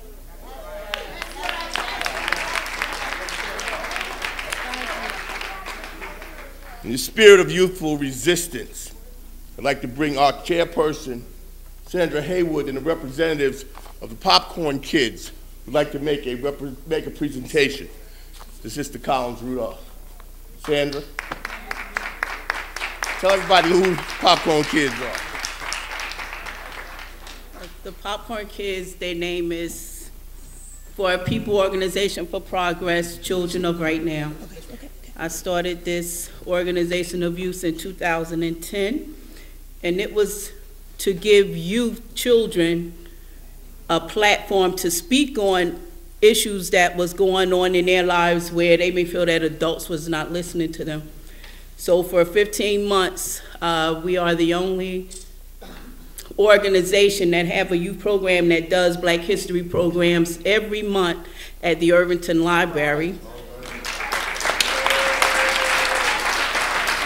Uh, during this, uh, during the celebration of them learning of Black history, they also celebrate Kwanzaa every month because I had to let them understand that you need to practice the principles of Kwanzaa all your life, you know. You know, I had to teach you to respect others, yourself, and your community.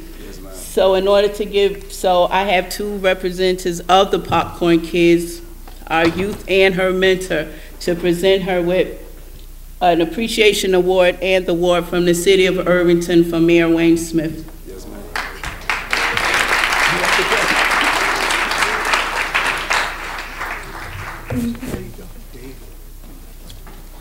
Take your time, sister. I stand here tonight as a Youth of Pops program. The Popcorn Kids and I would like to pass the baton to my mentor, Jaleesa, to honor Miss Sarah Rudolph. Mrs. Rudolph, on behalf of the Popcorn Kids of Irvington, New Jersey, we would like to thank you for your courage, and you show us, as well as children all around the world, that you should never give up on anything that you believe in, no matter your circumstance. You show us that even though our walk might be rough throughout the 365 days in the year, we will still overcome whatever it is that we go through. So I want to thank you, and I want to thank you on behalf of the Popcorn Kids. And also, I want to present you with an award from our mayor in Irvington. It's a certificate of recognition um, presented to Miss Sarah Collins Rudolph, the sole survivor. In honor of your bravery during such a horrific experience on September 15, 1963, at the 16th Street Baptist Church, Birmingham, Alabama, the Township of Irvington salutes you during Women's History Month and beyond, presented on this 27th day of March 2014.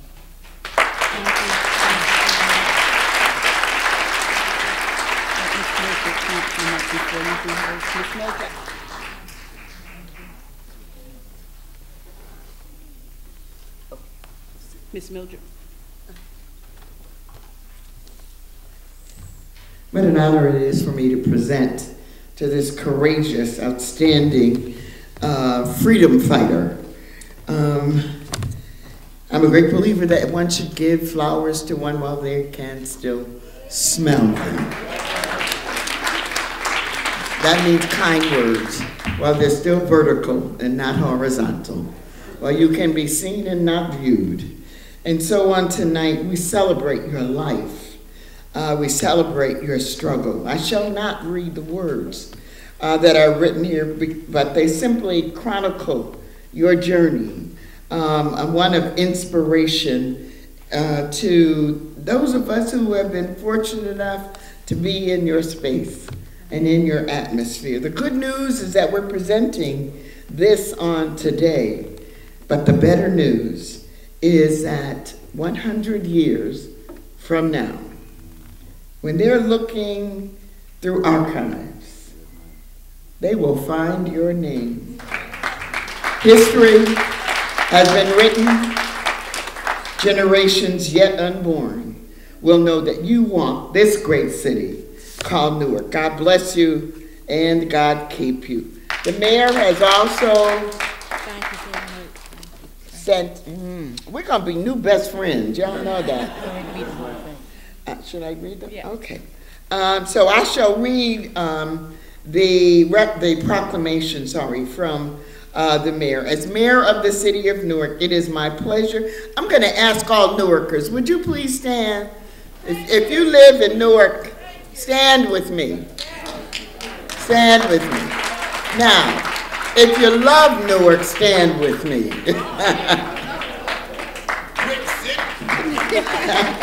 As mayor of the city of Newark, it is my pleasure to send my best wishes to everyone attending the recognition ceremonies for Sarah Collins Rudolph. Often called the fifth girl in quotes, Mrs. Rudolph is the sister of Addie Mae Collins, who along with her three friends, Denise McNair, Carol Robertson, and Cynthia Wesley, perished when a white racist planted a bomb at the 16th Street Baptist Church more than 50 years ago in Birmingham, Alabama, seeking to terrorize the civil rights movement.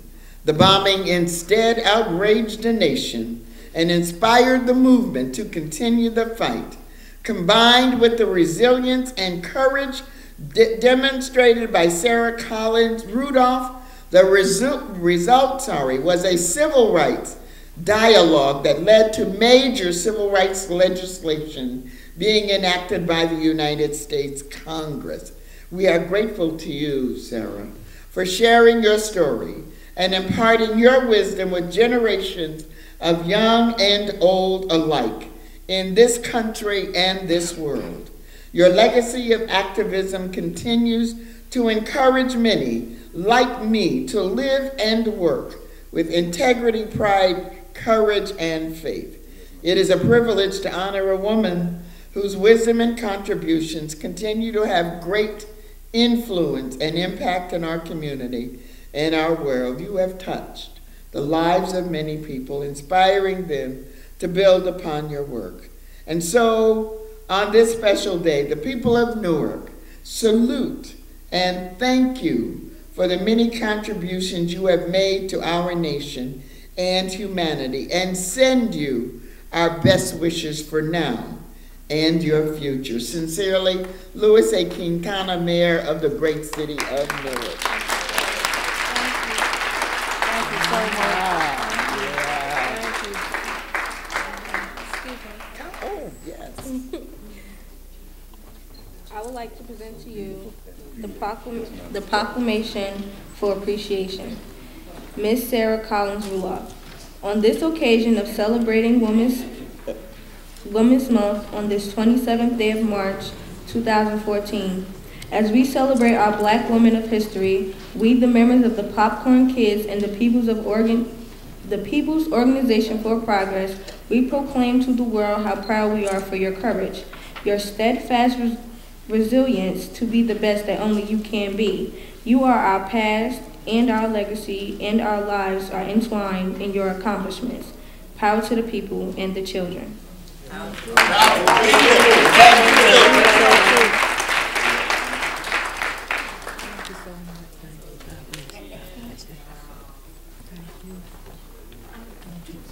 I believe, stay right here. I believe there are other resolutions, community resolutions, NAACP of Orange and Maplewood. Brother? Good evening. I'm Eddie Young from the Oranges and Maplewood NAACP. I have another member here, Cynthia Murray. Hi, we bring a resolution to Sarah Collins Randolph. Ru- I'm sorry, Rudolph. Got to get to my president about this. Okay.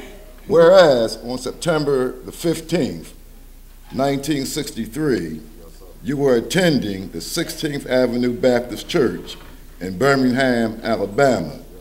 Whereas Denise McNair, Carol Robertson, Cynthia Wesley, and Addie Mae Collins also were present on the morning of September the 15th. Whereas, without cause, a bomb was detonated and caused the death of Denise McNair, Carol Robertson, Cynthia Wesley, and Addie Mae Collins. Whereas, as a result of the malicious attack on the 16th Avenue Baptist Church, you were seriously injured and hospitalized for many weeks. Whereas, the cowardly act was designed to instill fear in you.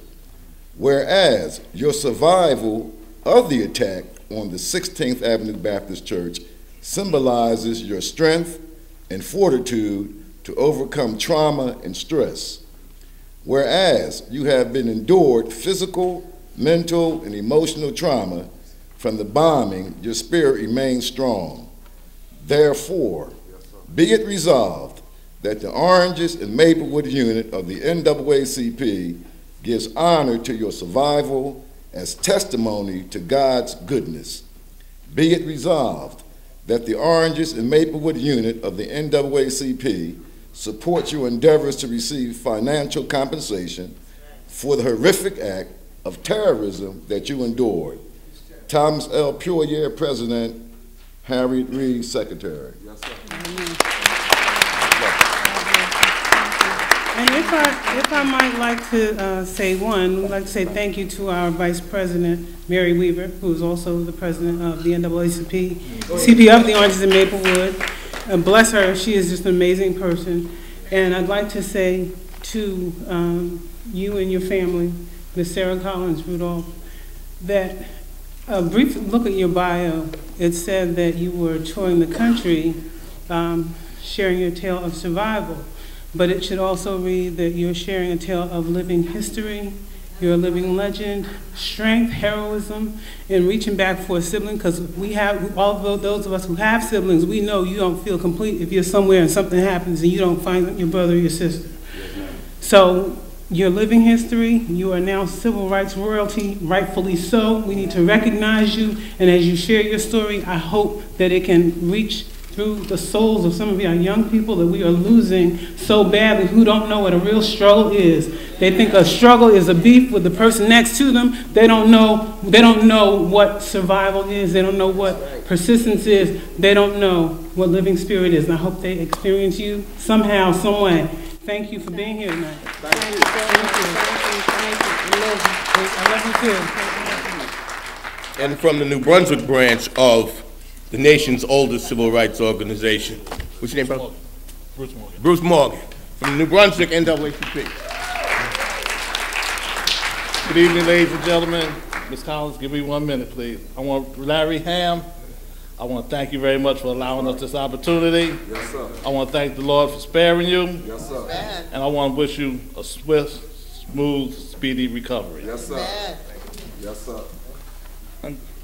This is just a little few words from the New Brunswick area branch, NAACP. Miss Sarah Collins Rudolph, we are honored and humbled to be in your presence. Through no choice of your own, but by his hand, you were thrust into the forefront of the fight for civil rights on a Sunday morning in 1963. Your bloody, broken, and battered body has become a living memorial to the sacrifice of your sister Addie Mae Collins and playmate Cynthia Wesley, Cal Robinson, and Denise McNair. The New Brunswick Area Branch National Association for the Advancement of Colored People wishes to take this occasion to thank you for your steadfast community to remembering the world of, to, to reminding the world of hatred and bigotry that led to this horrible event. Yes, sir. We also want you to know that we appreciate your lifelong fight to bringing peace, justice, and equality to our nation and the world at large. It is our privilege to stand before you and this audience and say thank you for all you have done, and we stand on your shoulders as we carry on the legacy you have laid before us. We pray he keeps you in his hands in unity. Bruce S. Morgan, President, Deborah L. Morgan, Secretary, and the New Brunswick Area Branch NAACP.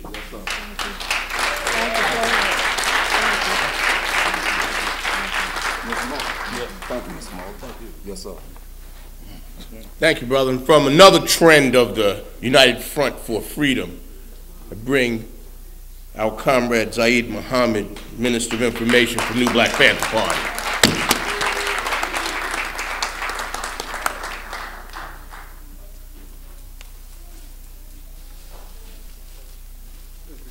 Where's Victoria? Come on, brother.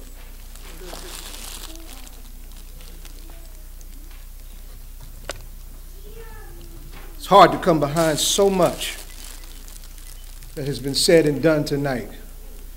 But out of honor and respect, let me just say a couple things. Some of the baddest black women I know on this earth are right in this organization. That's number one.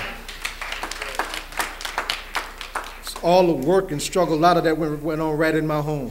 And you should see, you should have seen them scrapping with each other how to get this right. And they got it right, so give them a strong black hand. My comrades, my sisters from the People's Organization for Progress.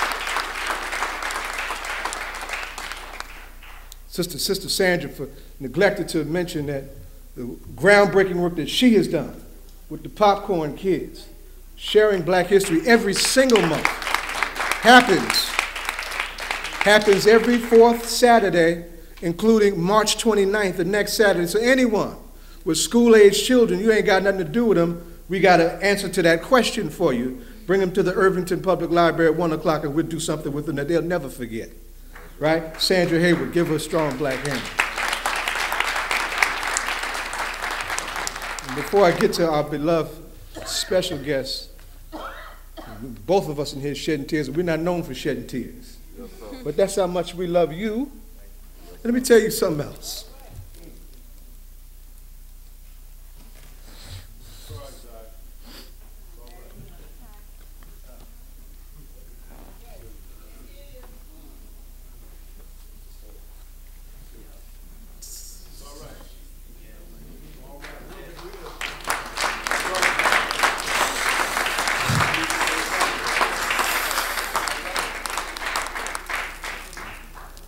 It's close. It was, it was real close. Revolutionary cannot do what we do without being governed by strong feelings of love, said Che Guevara. And it's the love that this man has for you that gave him the strength to fight back from where he was. He was on the brink, almost out of here. Walked three miles today. Walked two yesterday. Where's Jeffrey Dye? Where's Anjanetta Robinson? Took them, he made sure that he, they made sure that uh, he outwalked Angie. right? But that's the love of our people. You can't make this up. And, and, and it's not enough of it going around in the form of leadership that you still vote for and it sells you out all the time. He don't sell you out. Why are we not making more Larry Hamms? Why are we not making more of Demus? Why are we not upholding the model that he has given us for so many years? That's a mistake that we have to correct right now. Now, I've, good news and I have bad news. Sister Sarah, a survivor of Klan terror. Klan been here since 1866. You would think of the government as big as bad in the United States, that that kind of terror would be banned. I have bad news for you. The Klan is still active. Huh? We are here today not just to honor what has gone on in the past in resistance and struggle, but to carry on that struggle. And I'm here to tell you that your new Black Panther parties in Jasper, Texas, and will be on, on April 7th, locked and loaded to confront the Klan over the lynching of Alfred Wright. Young black man, good son in this community, just made the mistake of being involved with a, a person of European descent. And they made him disappear. And when they found him, let me tell you something about how this Klan does. They found him with his eyes cut out. They found him with his ear cut off. They found him with his throat cut. And then they just took the, the shiniest dime they could find and planted it right there and said, Yeah, we did it. And I'm going to tell you something else. You got to speak up and speak to and make these primetime black leaders do what they're supposed to do. Right. It was our struggle that, that made the Justice Department finally bring to bear to justice the vicious racists that did what they did to her family and to her friends. But this Justice Department, black led, President and Attorney General alike, are trying to tread softly out of fear of offending white folks. That is not what we fought for. That is not what we fought for. If you're going to be on the job, you're going to do it. And if it's ugly, clean it up and make it right. That's what this struggle is. And if you got a problem doing it, then guess what? We're going to train our people to fight their real enemies and we'll clean it up ourselves. We'll clean it up ourselves. So, sister, we carry on. Standing squarely on your shoulders. Standing squarely on your shoulders, Mother Mildred. Standing squarely on your shoulders, Madam Theodora. I want you to know that my daughter is a great, great niece of Ella Baker. We just found that out. Oh, so it's, it's the gen- whole new generation coming, Miss Miss Cofield. And let me bring this daughter up. That's right. Now, y'all heard about the petition? This is little sister Victoria. All right. She's not going to just present these flowers as, because see, we don't, we don't get these while we live it. I'm glad he got those, but it took an accident that almost took his life to get those. He's been doing this over 40 years. That's right. Ma'am, you're going to get your flowers while you can smell them. And I'm going to let this young new leader, I'm going to sit down and let this young new leader tell you about how, how important that petition drive that she helped start. Go ahead, tell me, daughter. Um, praise the Lord, church. Praise the Uh, Lord. Excuse the way I'm dressed. I just came right from school, so. um, I recently, I, I'm ashamed to say that I recently just found out about Miss Rudolph. And I just, I've always known about the four little girls and the bombing, but I never knew that there was a fifth victim and a fifth little girl. And when my mom found out, she told me about it, because she always tells me everything that is historically involved. She told me about it. And I sat down, and I was truly ashamed that I didn't know. And I felt like I had to do something about it. So my mom and I, we sat down and we got in contact with Miss Sarah and her husband um, on through Facebook. And so, and we sat down and we said we wanted to start a petition because after 50 years, she never received financial restitution for all of her injuries. And it is time, it is beyond time that she gets what she deserves. And she deserves even more, but this is the least that we can do. So my mom and I sat down and we said we wanted to start a petition. We found a lady, uh, her name is Reverend Tony DePina, and she had already started a petition on change.org. So my mom and I teamed up with Reverend Tony DePina, and we have started a petition online for Miss uh, Rudolph, and it's on change.org, and you can find it on there. We are asking for financial restitution because you truly deserve it. You truly deserve it. And so, and it is sad that we only have two, little over 2,000 signatures for a woman who has done so much to change history. And it is sad that we only have 2,000 signatures. Oh, That's sick for a woman who has done so much. Come on, come on. I, I couldn't, I wouldn't even be able to stand here right now if it wasn't for Miss Rudolph. I wouldn't be able to go to the school that I go to if it wasn't for Miss Rudolph. So I want to present these to you, and I ask everyone to please sign the petition. It's online on change.org. There are a lot of different petitions for her, but this one we're really trying to push. Um, it's on change.org, and you can put in Reverend Tony DePina's petition for Sarah Collins Rudolph. And we ask, please spread the word. Please spread the word through social media, through word of mouth. Tell your friends, tell your family, because you truly deserve everything that we're trying to help you get. Thank you so, much. so we want to. So.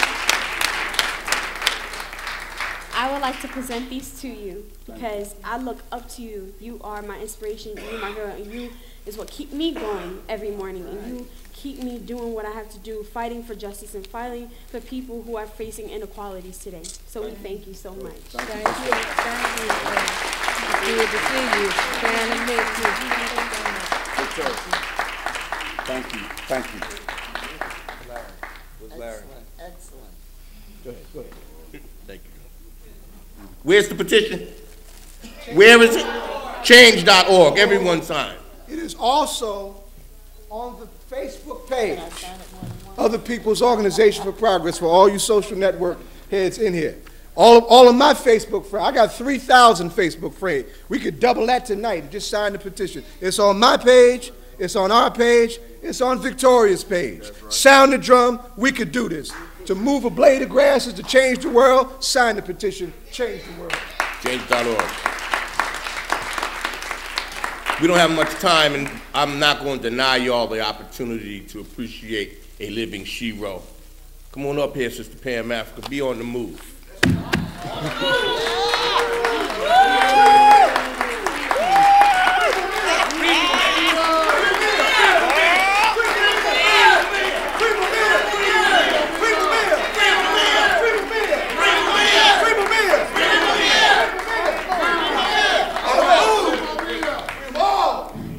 On the Move is really an honor to be here.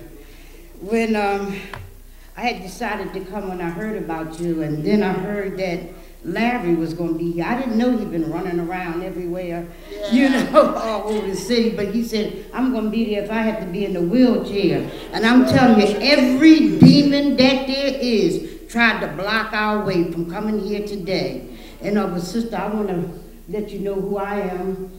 I'm Pam Africa. I'm Minister of Confrontation of the Move Organization. Yes, Um, chairwoman of the Uncompromising International Concerned Family and Friends of Mumia Abu Jamal.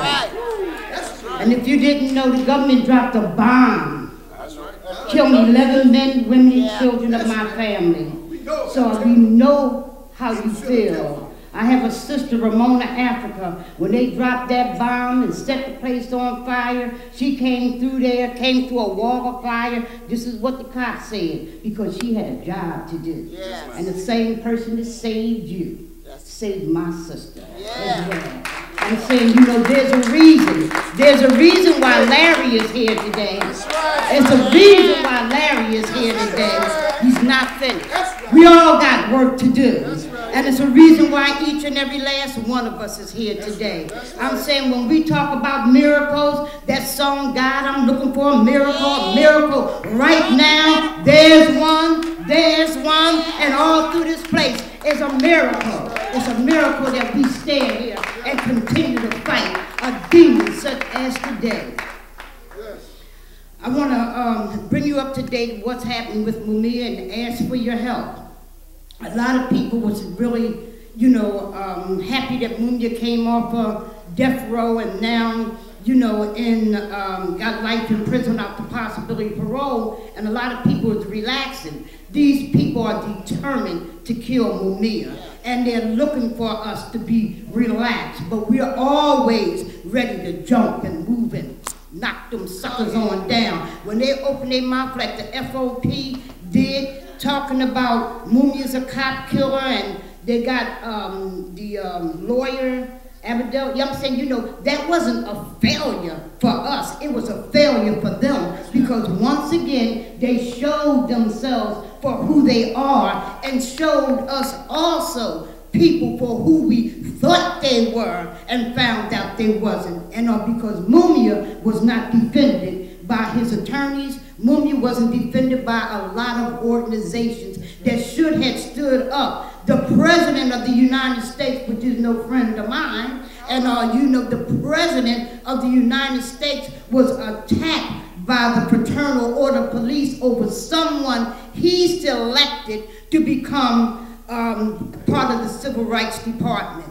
I didn't hear no groups and organizations howling and screaming and saying this is wrong until after two months when the battle was going on and we was thumping with them cops. We was thumping with them um, um, um, government officials and stuff. Once the decision was made not to have Abadeli, Ababelli as the um, new Attorney General up under Holder, then all of a sudden everybody got a microphonic seizures. I called them people the after the fact mother suckers, mother suckers. And uh, they are after the fact. After the fact, they all got a microphonic seizure, and they're defending Abadeli.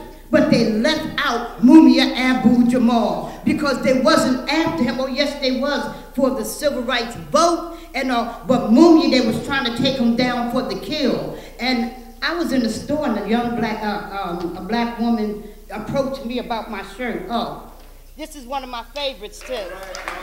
I wear this proudly. yes. Um, but I had my Mumia shirt on. And, all, and this is a Mumia shirt as well, but I have Mumia's picture on this one. And the lady came up to me and she says, um, why are you wearing that killer shirt? I mean, it was a young black woman. She wasn't a FOP. She was a woman who read the paper and didn't understand. What she did under, what she thought she understood was the um, black district attorney saying that Mooney's a cop killer, and uh, you know, and they um, that you know, Abbott Belly could have been our attorney general if we had not defended people like yous, had not defended. That's her word. And uh, you know, this cop killer we were responsible for, Mumi was responsible for. I'm saying we got to set a record straight, and all because we're fighting to get this brother out, not for him to live his life on um, on slow death row. So look, the weekend this year, like Larry, Mumia will be turned 60 years old, and we're not we're celebrating the fact that Mumia lives. Mumia is alive despite all the demons that came forth to try to kill Mumia. I'm saying we're powerful. Power to the people. We stopped that um, um, death warrant. I'm saying we got to claim that with no lawyers, and uh, it was the people who stopped that. Um, but what I want to say on the 24th, we're doing a fundraiser and uh, for the war chest for Mumia, and uh, because it takes money to battle these people. Um, on the 24th, uh, Cornel West has devoted his time. Uh, the last poets have devoted this time, and you know, jazz musicians and things have devoted their time for a fundraiser in Philadelphia for Mumia. On the 25th, young artists from all across the country is coming into Philadelphia, which is Friday night. Mumi's birthday is a Thursday night. Friday night, young hip hop artists is coming because the power is in the pen. The power is what we say and how we deliver it when we say it. Like the brother here, how he delivered us the information about what was happening with the sister. So these young hip hop artists with the power to draw more folks in and uh, is having a concert and uh, to help provide that war chest. On the 26th, we're taking to the streets from Captain Reggie Schell. He was the one who started the Black Panther movement in Philadelphia with then 14-year-old Mumia Abu Jamal. At that location, at um, 19th and Cecil B. Moore, we formulating and we want to march on from the church the, from Cecil B. Moore over to the Church of the Advocate. Why we march? We march because then during the time that the Panthers was getting started in the 60s, and uh, they was marching about jobs. We were marching about housing issues. Now this urban uh, removal. We was marching about a lot of things that ill us. Police brutality, the beating, the maimings, and the killing of our people, the illegal jails. We're marching, we're marching, and we're letting them know that we have not stopped. We will continue to stop. And we march because it's no way we're going to sit back and allow you to kill Mumia Abu Jamal. We're working to bring that brother up out of there. We're marching on that day and uh, because we're honoring Bill Robinson. Um, and then let, let me tell you this, I'm gonna wrap up. And uh, I'm gonna pass out some flyers so that everybody can know what is going on. We need your help to participate in the march. Um, the Church of the Advocate, we're running the entire Church of the Advocate. We're shutting off from 18th to 19th Street on Diamond. We're taking Grant Street this way, Grant Street that way, and we're also taking Susquehanna Avenue. And because uh, we're going to bring something up in there that people have never seen before. And uh, we have children, teaching children. So we're passing out the flyers, and please, pick up the flyers and be a part of this movement to save the life of Mumia Abu Jamal while we also fight to save ourselves. On the move, long live revolution, long live Larry Hamm, long live all the sisters that received these awards tonight. Together, we will win. Power to the people. On the move, long live John Africa. On the move, sister. Susan, quickly, time is running. Yes. How's No. everybody doing this No. evening? Praise God, praise God. We just want, in, in, in uh, interest of time, we just want all the pop women to stand up and we just want to say thank you. All the pop women of pop, please stand. All the women of pop, please stand. Please stand. Let's give them a hand and a round of applause because they do good work. And we want to thank them for that. And we, last but not least, we're going to bring back our co-chair, our chairman and co-chair to close you guys out. And we thank you from the bottom of our hearts for attending our annual Black History Women's Celebration. Thank you very, very much. Brothers and sisters, thank you very much for coming tonight. We really appreciate it. Next Wednesday, power to the people. Everybody with me? Listen! Listen up, listen up. Can you please listen up, please? Chair got something to say to you. One second. Next Wednesday, April 2nd, we will be having another special program. Uh, Our guest speaker next Wednesday, April 2nd, will be Dr. Cornel West. That will be at Bethany Baptist Church. That's 274 West Market Street in Newark, New Jersey, where Reverend William Howard is the pastor. We hope everybody will return for that forum. And he will speak on the importance of organization. And lastly, I invite you tonight to join the People's Organization for Progress. Where the membership forms at? Are they in the back? They're in the back. Everybody get a membership form. Even if you're a member of other organizations, you can join POP. Brothers and sisters, thank you very much for coming out. Power to the people. Have a safe trip home. Give yourselves a hand before you leave, please.